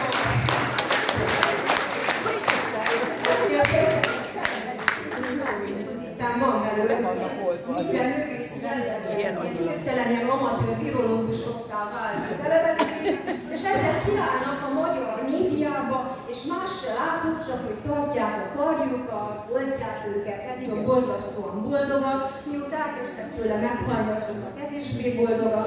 Na de mindegy, hát ez az, amit nem értettem. Tehát náluk is ment ez, de utána megnéztem a többi sajtót és a többi nemzetközi sajtóorganot, sehol az ég világon nem volt ilyen erős a celebekkel megerősített média félrevezetés, mint Magyarországon. És abban az egészben a legdurvább, menjünk csak tovább, azt hiszem, hogy találunk egy olyan képet, amikor a celebeknél nézzük csak meg, amikor beismerték azt, hogy ezeket a celebecskéket ki, bizony az önök kemény adóforintjaiból fizették, hogy odaálljanak és mondják a szíveket. És tehát másik ilyen magyarországi mainstream médiás szörnyűség, amire fölfigyeltem, tehát ez a retro rádió nevezett kedvencem. Tehát ezek a síró, busbocskoros nemes, vagy hogy hívják ezt a fiatal embert, aki vezette ezt az előadást, ez egy az egyben baldoknak nevezte azokat a magyar embereket, akik visszautasították a Covid-oltást. Tehát elképzelni sem tudtam ilyet, hogy egy hivatalosan működtetett, jegyzett sajtóorgánumban ilyesmit megengednek maguknak. És megengedték, tehát élő egyenes adásba visszakerestem akkoriban a felvételt, mert nem akartam elhinni, hogy ilyesmi megtörténhet. Visszakerestem, és bizony Isten megtörtént. Mint ahogy megtaláltam azt a magyarországi sajtóban, ahol ez a Majka nevezetű szupersztár kiült oda, és akkor elmondta, mind a száz szóból álló szókincsével, megpróbálta elmondani, tehát megpróbálta elmondani önöknek, hogy ő egy olyan vagánycsávó, aki igaz, hogy minden oltás után covidos lesz, de, de, de, de hát ragaszkodik ahhoz, hogy a Covid, hogy aki nem beadatni magának a Covid oltást, azt pofozzák meg, vegyék össze-vissza, valami ilyesmi nyilatkozom. És akkor fogtam a fejemet, atyám, hova züllött le ez a magyarországi sajtó, aminek egykor én is a munkatársa voltam. Tehát én itt végeztem el a Bálin György újságíró továbbképzőt, az Esztergomi Vitéz János tanítóképzőre is jártam, éveket dolgoztam, mint fiatal tinédzser, nem tinédzser, 20 éves koromban a budapesti bulvárnak, és akkor a budapesti sajtónak tartása volt, lelkem volt, igazi volt, élt, dobogott, és egyszerűen nem tudtam elképzelni, hogy ez a járvány, tehát a Covid-nak a mellékhatása elsősorban a sajtót ölte el. Az igazi embereknek való, embereket tájékoztató sajtó. Igen, menjünk tovább. Tehát én erdélyi magyar vagyok, mint ezt önök is tudják már, és mi történik? Hát az történik, hogy a Magyarországi kormány a Nemzetegyesítés címszó alatt úgy döntött, hogy hát mi sem mentesüljünk az ő propagandájuktól.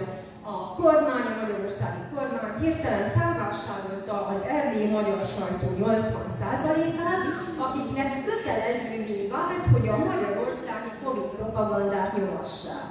És akkor én ott, mint romániai magyar újságíró, szembe mentem azzal a képtelenség nevetséggel, hogy a romániai román embert nem lehetett úgy átverni, mert a román sajtóban nem olvasta ezeket a szörnyűségeket, viszont a magyar sajtón szocializálódott és a magyar tévét néző és a magyar híreket olvasó erdélyi magyar ember, az kételkedett, az ment és beoltatta magát, mert hát azt mondták a tévével. Tehát ez a tévé, ez az általános társadalmi dolog. És akkor én kértem a hajamat, hogy drága jó Istenem, hogy értessem meg velük, hogy ne nézzék, gyerekek, ne nézzétek a magyarországi híreket, mert fölbutít és nyomorba lő. Tehát ez így történt. És a másik, amit nézzük csak, hogy mi van ott, melyik izé, nem, pillanat, mert tudunk, mert itt Micsoda? Igen, hát itt, hogyha látta a celebecskékről, akkor kérünk még egy pár képet, csodáljuk meg őket, megérteni. Tehát menjen tovább. Nézzük, tehát Zalatnai cíművésznő, biztos a virológia szakértője, nagy járványügyi szakember, abban az időben egy másik történet, hogy Csárinak ez az egy dózis két helyet. Micsoda művészete, hát én nem tudom, hát ez, ez tényleg a humor kategória. Én valamikor teológus koromban azt olvastam, hogy a gonoszt úgy lehet a legjobban elűzni, hogyha az ember a saját lelki tisztasságának az erejével szemben neveti, és ezzel megtagadja. És én úgy vélem, hogy ezek a több mint nevetséges celebreskék is, jó, tehát ezek a celebreskék, ezek a tehát ez, ja igen, maradjunk itt ennél a képnél, mert rátírunk a szent szeretetre is.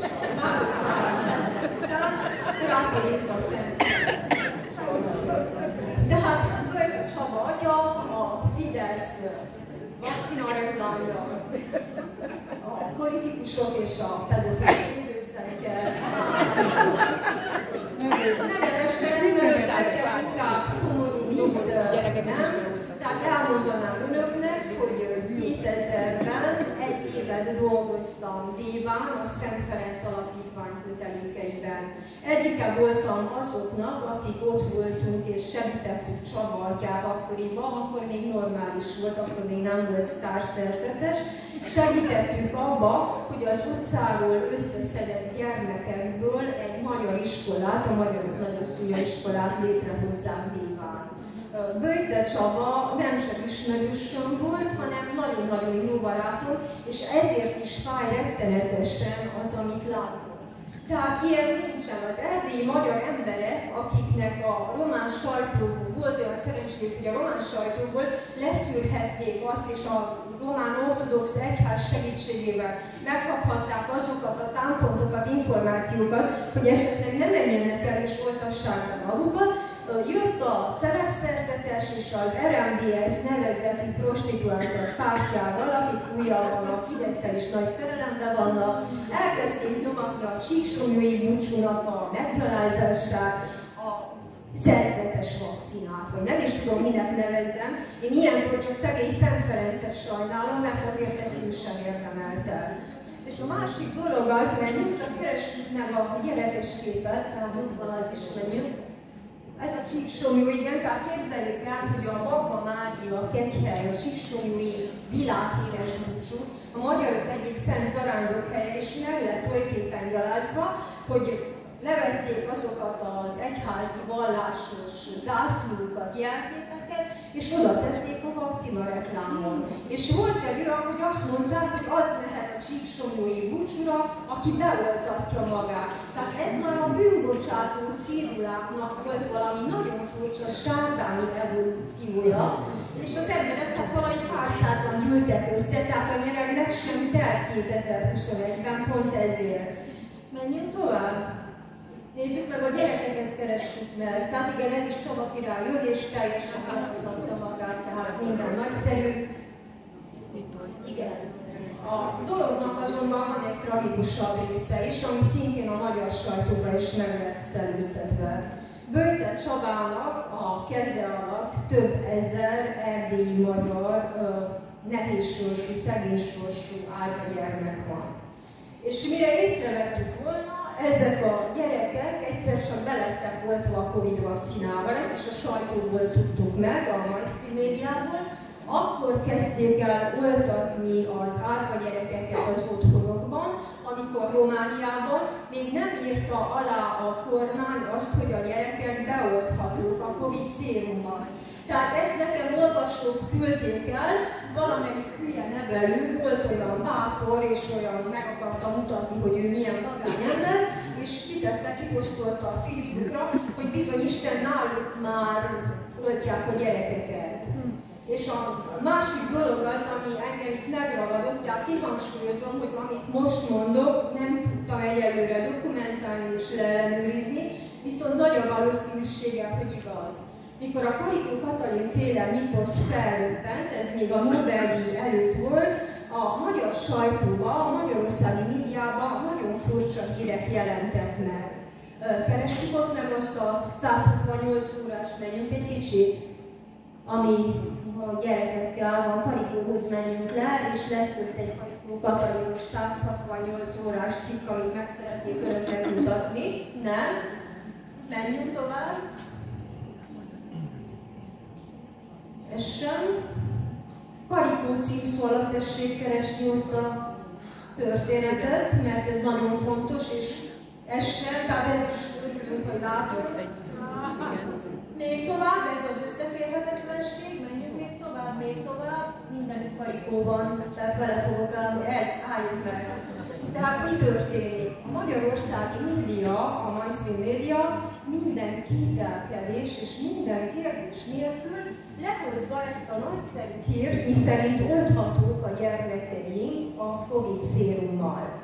Már maga ez egy szörnyűség volt, de ami a legszörnyűbb az, hogy Karikó Katalin lenyilatkozza a magyarországi sajtóba, hogy 2228 vagy hány gyermeken már kipróbálták a vakcinát, tehát emberkísérletek folytak gyermekeken. És ez így megjelenik a magyarországi sajtóba, a magyar távirati iroda forrásaként megjelölve, és egyetlen egy újságíró nem volt, aki esetleg odafigyel arra, hogy emberek milyen jogon oltottok ki be gyerekeket. Tehát a gyógyszerkísérleteknek, és a jelenlévő orvosok gondolom ezt nálam jobban tudják, a gyógyszerkísérleteknek megvan a maga szabályzata, protokollja. Kiskorú gyermekeket a nemzetközi gyógyszerkísérleteknek megfelelően nem lehet beoltani csak akkor, hogyha a gyermek életveszélyes állapotban van, és a kísérlettel javítható, vagy javítható az élet minősége, vagy megmenthető az életet. És szeretném tudni, és érdekes módon, hogy a magyarországi mainstream média nem akarta tudni, vagy nem szerette kik voltak azok a gyerekek, az a több mint 2000 gyerek, akiken Karikó Katalinék ebben az időszakban, 2021-ben, ebben az időszakban kísérleteztek. Magyar gyermekek voltak, esetleg árvaházi erdélyi gyermekek voltak, kik voltak ezek a gyermekek, és mi történt velük. És ebből, hány, ebből a gyerekből, ebből a 2000 valahány gyerekből hány gyerek szenvedett súlyos sérüléseket, vagy hány gyerek halt meg. És mindez megjelenik a magyarországi médiában, és senkinek nem tűnik fel, hogy mi emberek. Tehát itt mi történik? Emberkísérletet hajtunk végre? Hol vagyunk? Auschwitzba vagyunk? Mengele doktorok vagyunk? Senkinek eszébe nem jutott. Mikor ezt meg, megtaláltam ezeket a híreket az MTV-on, akkor azt mondtam, hogy na jó, akkor majd megkérdem én Katalin asszonyságot. Három hónapig kergettem az összes létező és nem létező előhetőségét, menedzserét, Szegedi Egyetemet, akármit, hogy tessék egy interjút adni nekem. Akár hiszik, akár nem, de szerintem elhiszik, nem állt meg nekem, tehát nem tudtam vele se írásban, se szóban interjút készíteni. A másik dolog az, amit mindenféleképpen meg szeretnék a magyar embereknek említeni, az az volt, hogy hogy bukott meg, hogy buktatta meg a mainstream média, a magyarországi mainstream média, hogy buktatta meg a saját hazugság helyzetét, a hazugság állatát. Valószínűleg, hogy valamennyien olvasták a sajtóba a híres magyarországi rockikon, zenész halálát, a Kóbor János halálát. El, kérem szépen a Kóbor folderet, kezdjük el itt. Úr, majd integessen, hogy esetleg sokat beszélek. Tehát valamennyien ismerjük, valamennyien valószínűleg, hogy sokan szeretik, nemzedékek nőttek föl a dalaikon. Menjünk tovább, tehát volt az a pont, amikor a bumeráng visszaütött, a fagylalt visszanyalt, menjünk tovább a kóborfoldereken, nem, ez már egy másik magyarországi sajtócseleve lesz. Kóborfoldereket kérem szépen. Igen, álljunk meg. Tehát mi történik? Elkezdődött a magyarországi médiában promovált COVID, COVID terror, mert nem tudom ezt másnak nevezni.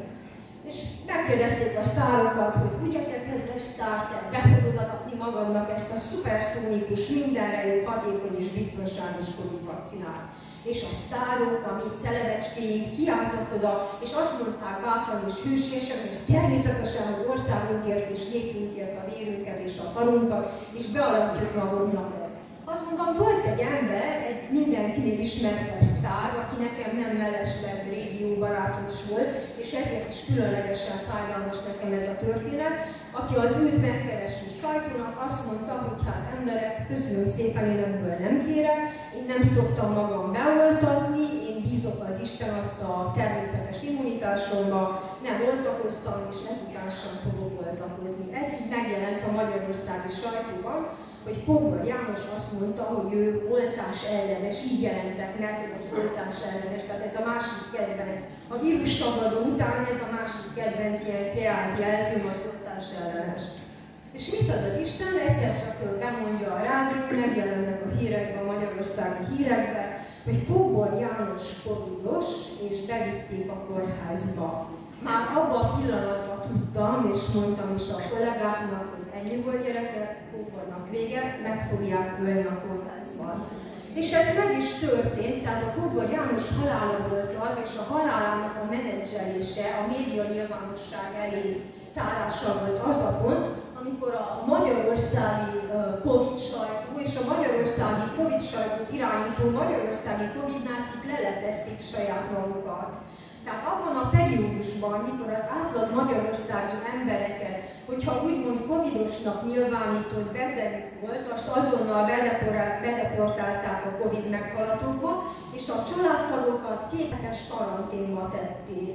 És onnan senki sem, de úgy tudom, hogy itt is komolyan büntették a karantén megszegőket, és azt is több olvasó jelezte, több száz ilyen esetről tudok, hogy mikor elhalálozott valaki, igaz, mikor elhalálozott valaki, akkor az illetőt nem engedték, hogy megnézze a saját halottját, és itt is temettek el nem egy olyan ember, hogy a család végső búcsút sem vehetett tőle, mert zárkoposos temetéseket rendeltek el.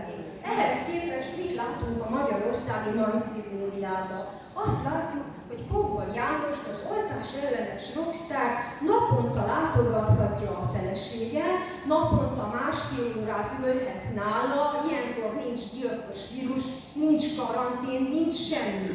Mindeközben az átlag magyar nem hagyhatja el az otthonát, be van zárva a kórházba, tehát tökéletesen működik a Covid diktatúra. Mi történt itt valójában? Tehát logikusan gondolkodva semmi más nem történt, mint az, hogy ők már akkor tudták, hogy Kóval János élve nem fogja elhagyni a kórházat, és ezért kellett egy tanú nekik, aki ez esetben a feleség, aki minden nap ott van, és hogyha kell igazolja, hogy nem a kórházi protokollal, nem sustusokkal ölték meg az ismert zenést, hanem uram atyám, rátették a lélegeztetőgépre, és aztán belehalt, mint sok ezer, sok százezer, több, sok tízezer ember a világon. Tehát evidens volt, hogyha az oltás ellenes, a nyilvánosan a sajtóban, cikkekben nyilatkozó oltás ellenes Kóbor János élve meghúzta azt, hogy őt Covid címszó alatt beutalták a kórházba, akkor ezzel lemondásták volna azt az egész propagandát, amit több tucat celebecskével felépítette. Mert akkor az emberek azt mondják, hogy ugyan már, hát Kóbor János nem oltatta be magát, igen, covidos lett, meggyógyult, hazajött. Ennyi volt akkor az egész Covid propagandának. Tehát lehetett tudni, hogy soha nem fogják megengedni, bármi volt a baja. Tehát szerintem Kóbor János nem covidos volt, bármi volt a baja, lehetett tudni, hogy ezt az embert nem, nem miután covidosnak nyilvánították, nem engedik ki a kórházból. Tehát durva volt ez az egész történet, és ez így megjelenik a magyar sajtóban. Én rákerestem a cikkeknek a Facebook változataira, és ott az emberek több ezer beírás jelent meg, és akkor írták, hogy hát nem tudott elbúcsúzni az édesanyjától, vagy a párjától, vagy a férjétől, mert egész egyszerűen nem engedték. Tehát ez, amit látok, nem volt más, mint egy előre megszervezett Covid gyilkosság. És azt mondták a hivatalos hatóságok, és a magyar sajtó ezt is lehozta, hogy különleges engedéllyel történt mindez. Én szeretném látni azt a különleges engedélyt, aminek a segítségével a az elhunyt Kóbor János felesége naponta látogatta, és naponta másfél órát ült az állítólagos covidos férje mellett, és aztán lazán kisétált a kórházból, terjesztette ugye a gyilkos korságot, és másnap visszatért. Nem találtam még olyan magyar állampolgárt, aki hasonló különleges engedélyt kapott volna. És miért nem találtam? Valószínűleg azért nem találtam, mert az ott lábaló eltett, megölt, a Covid protokollal elpusztított emberek nem kellettek egy ilyen látványos propagandához. Tehát a Covid sajtó, a magyarországi mainstream média és a magyarországi Covid gyilkosok ebből a zseniális zenészből nem csináltak más, mint egy olyan varjút, egy olyan elrettentő varjút, akinek a hulláját kiakasztották a többi varjú elé, és megmutatták, hogy na így fogtok ti is járni, hogyha nem engedelmeskedtek. És ugyanez volt a helyzet Csolnán Szilveszterrel, menjünk a Szilveszternek a képére, hogyha tehát más magyarországi világbajnok, tehát ismert sportoló, tehát hogy igen, igen, ezt akartam mondani. Tehát ő régi követője volt az oldalamnak már annak idején, és szóltak is, hogy hát mit tudom, visszajelezte, hogy mennyire szereti a cikkeket. Nyomozásaink szerint ő is bekerült a kórházba, és az egyik ilyen ismert oltástagadónak lett nyilvánítva a sajtóban, mert sokáig húzalkodott az ellen, hogy beoltassák. És akkor, mikor bekerült a kórházba, akkor derült ki, hogy végül is Csollányt rávették arra, hogy oltassa be magát, és ennek ellenére végigcsinálták rajta a COVID protokollt, aminek a végén meghalt. Az egészben az volt az érdekes, hogy mindaddig, ameddig Csollány nem kapta meg a az injekciót, vagy szérumot, vagy oltást, vagy nevezzük, aminek akarjuk, addig magkevésséges volt. És abban a pillanatban, tehát megkapta a Covid oltást, és egy pár nap múlva bekerült a kórházba.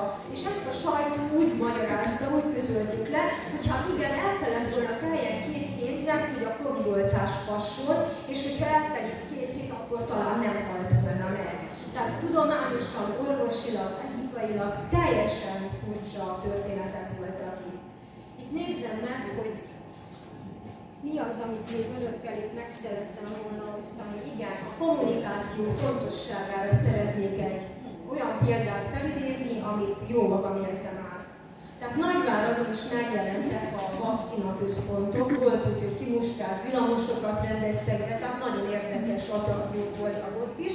És akkor a barátaimmal, mi már meg, megkaptuk Bukaresten és az Egyesült Államokon beli barátaimtól megkaptuk azt az 1219 Pfizer mellékhatást, amit első körbe a vakcinagyártóknak muszáj volt leközölni.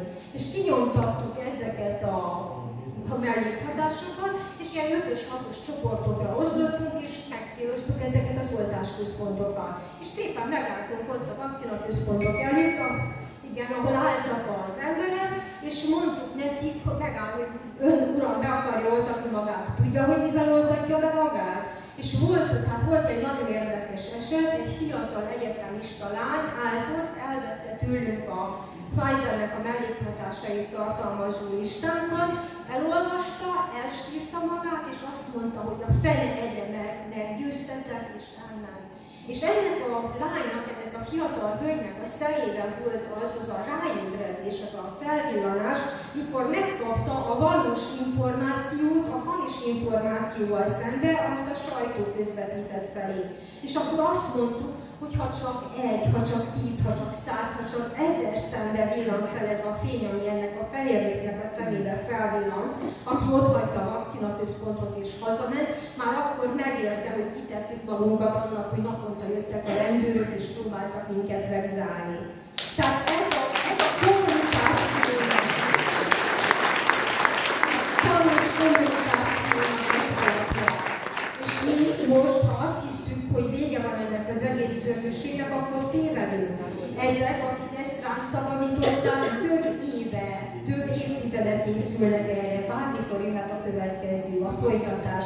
És arra viszont már fel kell készüljünk, fel kell készüljünk a sajtó segítségével, ki kell építsük magunknak a sajtót, és ezért is próbálok én is, mint egy kis mustármon vagy egy anyja, szent széllel, és nagyon kérem önöket, hogy önök is segítsenek minden olyan embert, aki van, hogy a magyarok ne felejtsenek el gondolkodni, és ne engedjük meg, hogy még egyszer egy ilyen pánikpornó, egy ilyen félelemterrorizmus embereket gyilkoljon a magyar társadalomban. Köszönöm szépen, hogy meghallgattak!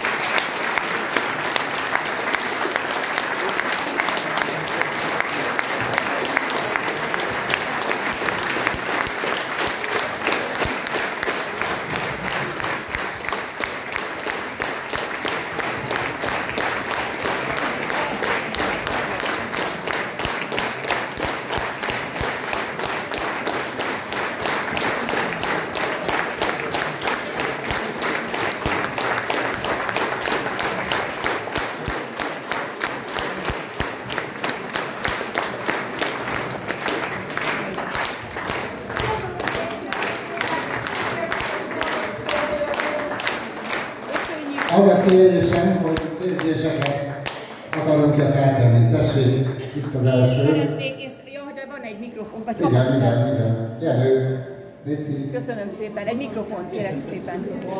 Mi a baj? Ja? Ja? Jó, köszönöm. Igen, szeretnék egy információt megosztani Mária önnel, meg önökkel, magyar emberekkel.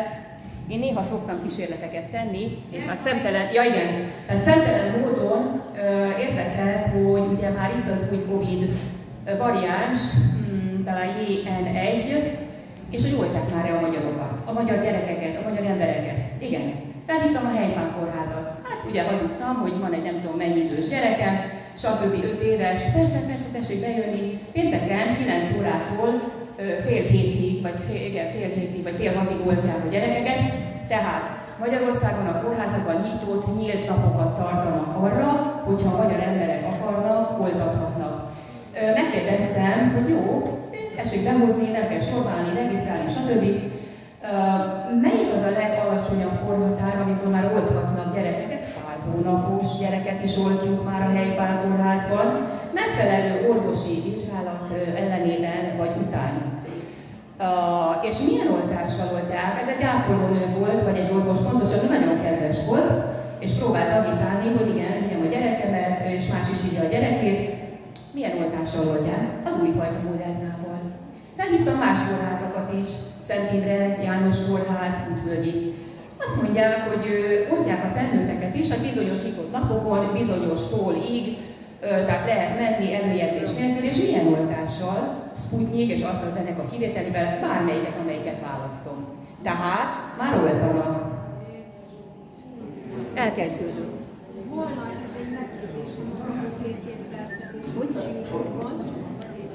Jó, tehát oltanak. Nem tudom, hogy mennyire figyelték a Modern Napoknak a múlt heti cikkeit. Tehát Washingtonban a múlt hét pénteken fejeződött be az a konferencia, az a szakértői testület által megtartott konferencia, ahol az emberek, tudom, tehát a jelenlevők ö, tudományosan igazolták, hogy az egész pandémiás intézkedések politikai jellegűek és nem orvosi jellegűek voltak, és a másik, ami nagyon fontos, hogy a Covid oltásokat orvosilag nem lehet védőoltásnak minősíteni, ugyanis nem teljesítik azokat a kritériumokat, amiket a védőoltásoknak teljesíteni kell. Ezt azért nem felejtjük el, mert mikor az emberekkel aláíratták a vakcinaközpontokba azt, hogy amit beadatnak maguknak vagy a gyerekeknek, saját szándékukból és önszántukból adatták be, ott védőoltás van. És abban a pillanatban, amikor kiderül, hogy az a valami egy génterápiás kísérleti szer és nem egy védőoltás, abban a pillanatban lenullázódik az egész aláírás érvényesség, és a kormány vagy az egészségügyi minisztérium perelhető, ahogy perelik is őket számtalan országra, többek között nálunk Romániában is. Tehát az, hogy védőoltásnak nevezzük ezt a valamit, ez hiba. Tehát erről le kell szokjunk, mert ez a valami nem véd meg az ég világon semmitől senkit, ez nem védőoltás. Tehát ennyi. Ez, ez jó,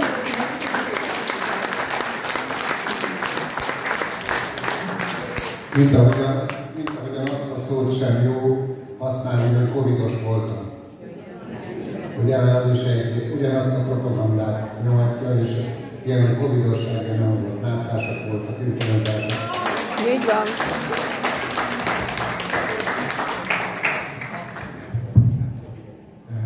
A milyen cselekvési tervet ajánlasz? Miért kérdezem? Azért, mert józan észre, hogy egy végighallgattuk a mai remek előadásokat, meg már évek óta nagyon sokat, akkor láthatjuk, ide állok, mert így nem gerjed, akkor láthatjuk, hogy ezek nem tartanak minket embernek, egyszerűen levágandó barmoknak. Tehát itt arra, hogy a római jogban majd valamit elérünk, vagy bármilyen szinten emberi dolgokra appellálva, hiába van itt ENSZ alaptörvény, ők is velük vannak, tehát minden, tehát kétféle táborban van a világ összes kormánya és vezetője, és van az összes nép, akinek össze kéne fognia. Tehát, hogy józan észre gondoljuk át, hogy érdemes-e még ezzel tölteni az időt, vagy pedig valami más tegyünk. Köszönöm. Tehát én úgy vélem, hogy érdemes, tehát a, ne felejtjük el, hogy amire alapozzák a, miért támadták meg az embert, mert az ember, ez felér, gondolkodó, független, lélekkel megáldott ember, akármilyen társadalmi helyzetben van. Ahogy emberek mertek nemet mondani, mindenkinek nemet kell mondani az ilyen történetekre. És csak először félelmetes, először nehéz. Tehát mikor az ember eldönti, hogy attól fél, hogy bántani fogják, vagy attól fél, hogy olyan gyáva, hogy nem mer szembeszállni azokkal, akik bántani akarják. Tehát ez benne van a Bibliában is, hogy Isten úgy teremtette meg az embert erre a földre, és ez szimbolikusan is kell értelmezni, nem csak teológiailag, hogy megvan a szabad döntésünk, ettől vagyunk a csúcsragadozója, a vezetője a földnek. Mondhatunk igent, és mondhatunk nemet dönthetünk Isten, és dönthetünk gonosz mellett. Tehát mindez nem magyarázat arra, hogy félel. Attól nem félünk, hogy meghalunk, attól nem félünk, hogy állatként kezelnek bennünket. Tehát akkor inkább az emberségünk védelmére féljünk, mint az ellen. Nekem ez a véleményem, hogy mindenki egyénileg és mindenki összefogva közösen. Ahogy itt összegyűltünk egy pár százal, ez, ez nem állna, hogy összegyűlünk pár százal, összegyűlhetünk pár ezren, több ezren. Tehát a kommunikáció, ez a legfontosabb. Ne felejtsük el, hogy a világon minden probléma a kommunikáció hiányosságától, vagy a kommunikáció hibájából történik meg. És abban a pillanatban, hogy mikor tudjuk, hogy mivel állunk szembe, abban a pillanatban tudunk ellene védekezni. Úgyhogy nem, nincs olyan, hogy reménytelen. És az, hogy mi most itt erről beszélgetünk, azt jelenti, hogy egyáltalán nem reménytelen, mert én is tudom, ön is tudja, és itt nagyon sokan tudjuk, hogy nem, nem engedünk, tehát nem, nem engedünk a 48-ból, és nem is szabad.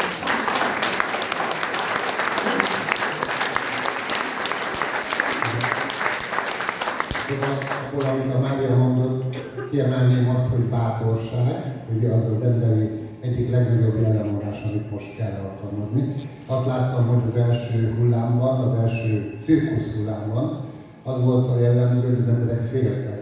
Féltek megnyilvánulni, féltek kommunikálni, féltek elmondani a többieknek, másoknak. A bátorság, az ezt kivédte volna, mert ha ő elmondta volna tíz embernek, az elmondja még tíznek, akkor már száz ember és így tovább. Tehát a bátorság, hogy megnyilvánuljunk, beszéljünk, kommunikáljunk, az, hogy itt voltunk ma este és hallottuk a Máriát, és miket mondott, ezt el kell mondani, és legközelebb hozni kell magatokat újabb tíz ember, aki, eh, akivel szaporodik az a közösség, ami tőlük leginkább félnek.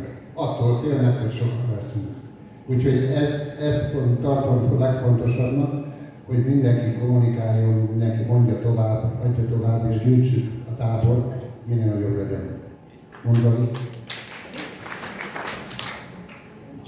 Csatlakoznék.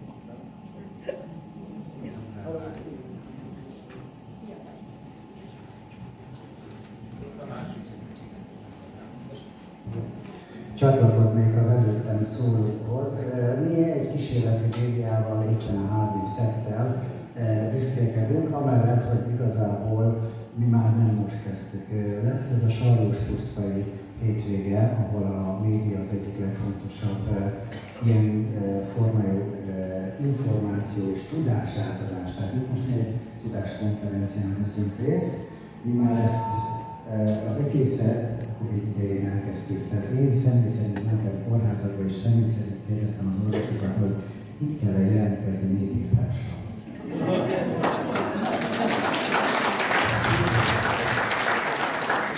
Volt olyan orvos, aki megtámadott, persze természetesen Anonymous maszkba voltam, és a kedvenc kollégámmal, és én elkezdtük ezt a médiát. Ennek a napnak ma van 12.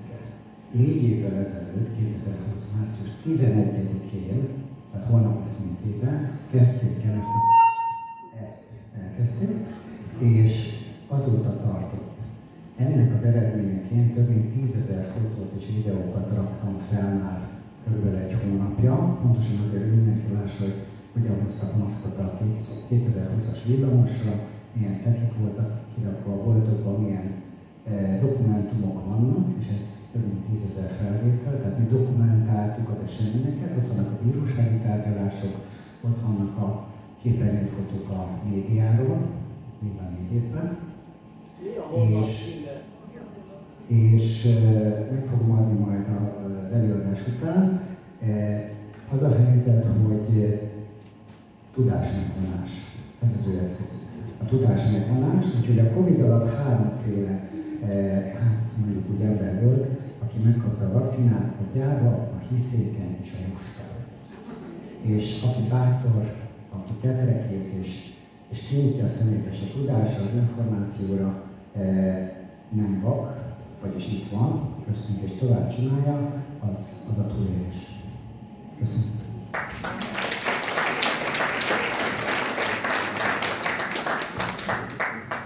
Hát, ha több kérdés nincs, akkor én nagyon szépen megköszönöm, hogy ma este itt lehettem önökkel.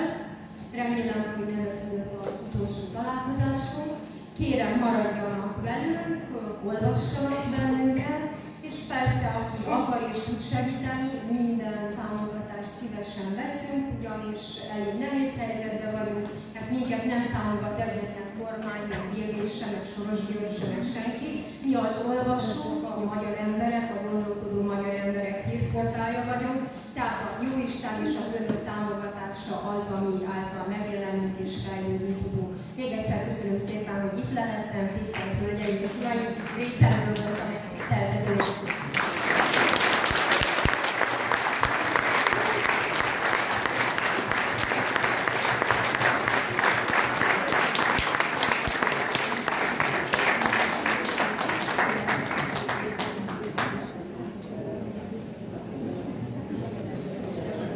Akkor még azt hadd mondjam el, hogy ez a, az érme, ami a nyakunkban van, ez uh, új dolog.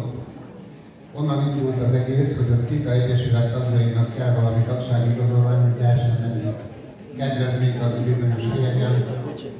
És uh, bocsánat, hogy tiltakozott, hogy ne legyen igazolvány. Az uh, megint a globalista szekerek dolga. És akkor kitaláltuk, hogy legyen akkor érme.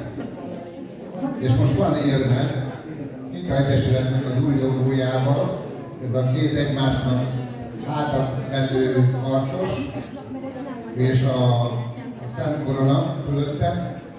Tehát ez az érme, ez az egyesületi tagokat illeti. Aki egyesületi tag, az meg tudja ezt kapni ingyenesen. Aki nem az, az meg tudja vásárolni a lányoknál hátul, 2000 forintért, és valamilyen szalagra, a bőrláncra, a bőr szalagra rá lehet kötni, nyakba lehet akasztani, vagy a kézre lehet csuklóra kötni karperecként. Tehát ez a Skica Egyesület, azon leszünk, hogy minél több helyen legyen ennek lehetősége, hogy van valakinek egy ilyen élménye. No hát nagyon szépen köszönöm, hogy ma itt voltatok, hogy itt voltak velünk legközelebb májusban fogunk találkozni, május 26-án pedig, akkor is lesznek jó előadások, és meg lesz az Egyesületnek egy közgyűlése, ahol a terveinket és a elmúlt találni, és pedig vannak a hírlevelek, vannak a itt jelentkezek, akkor egy személyes konzultációt tudok Van soros a jövő héten, úgyhogy ö, kapcsolódjanak hozzánk és terjeszték azt, hogy minél többen legyünk és többen lássuk az igazságot. Köszönöm szépen a figyelmet és hogy itt voltak. Józsi, még a WHO aláírás mondjad. Ö,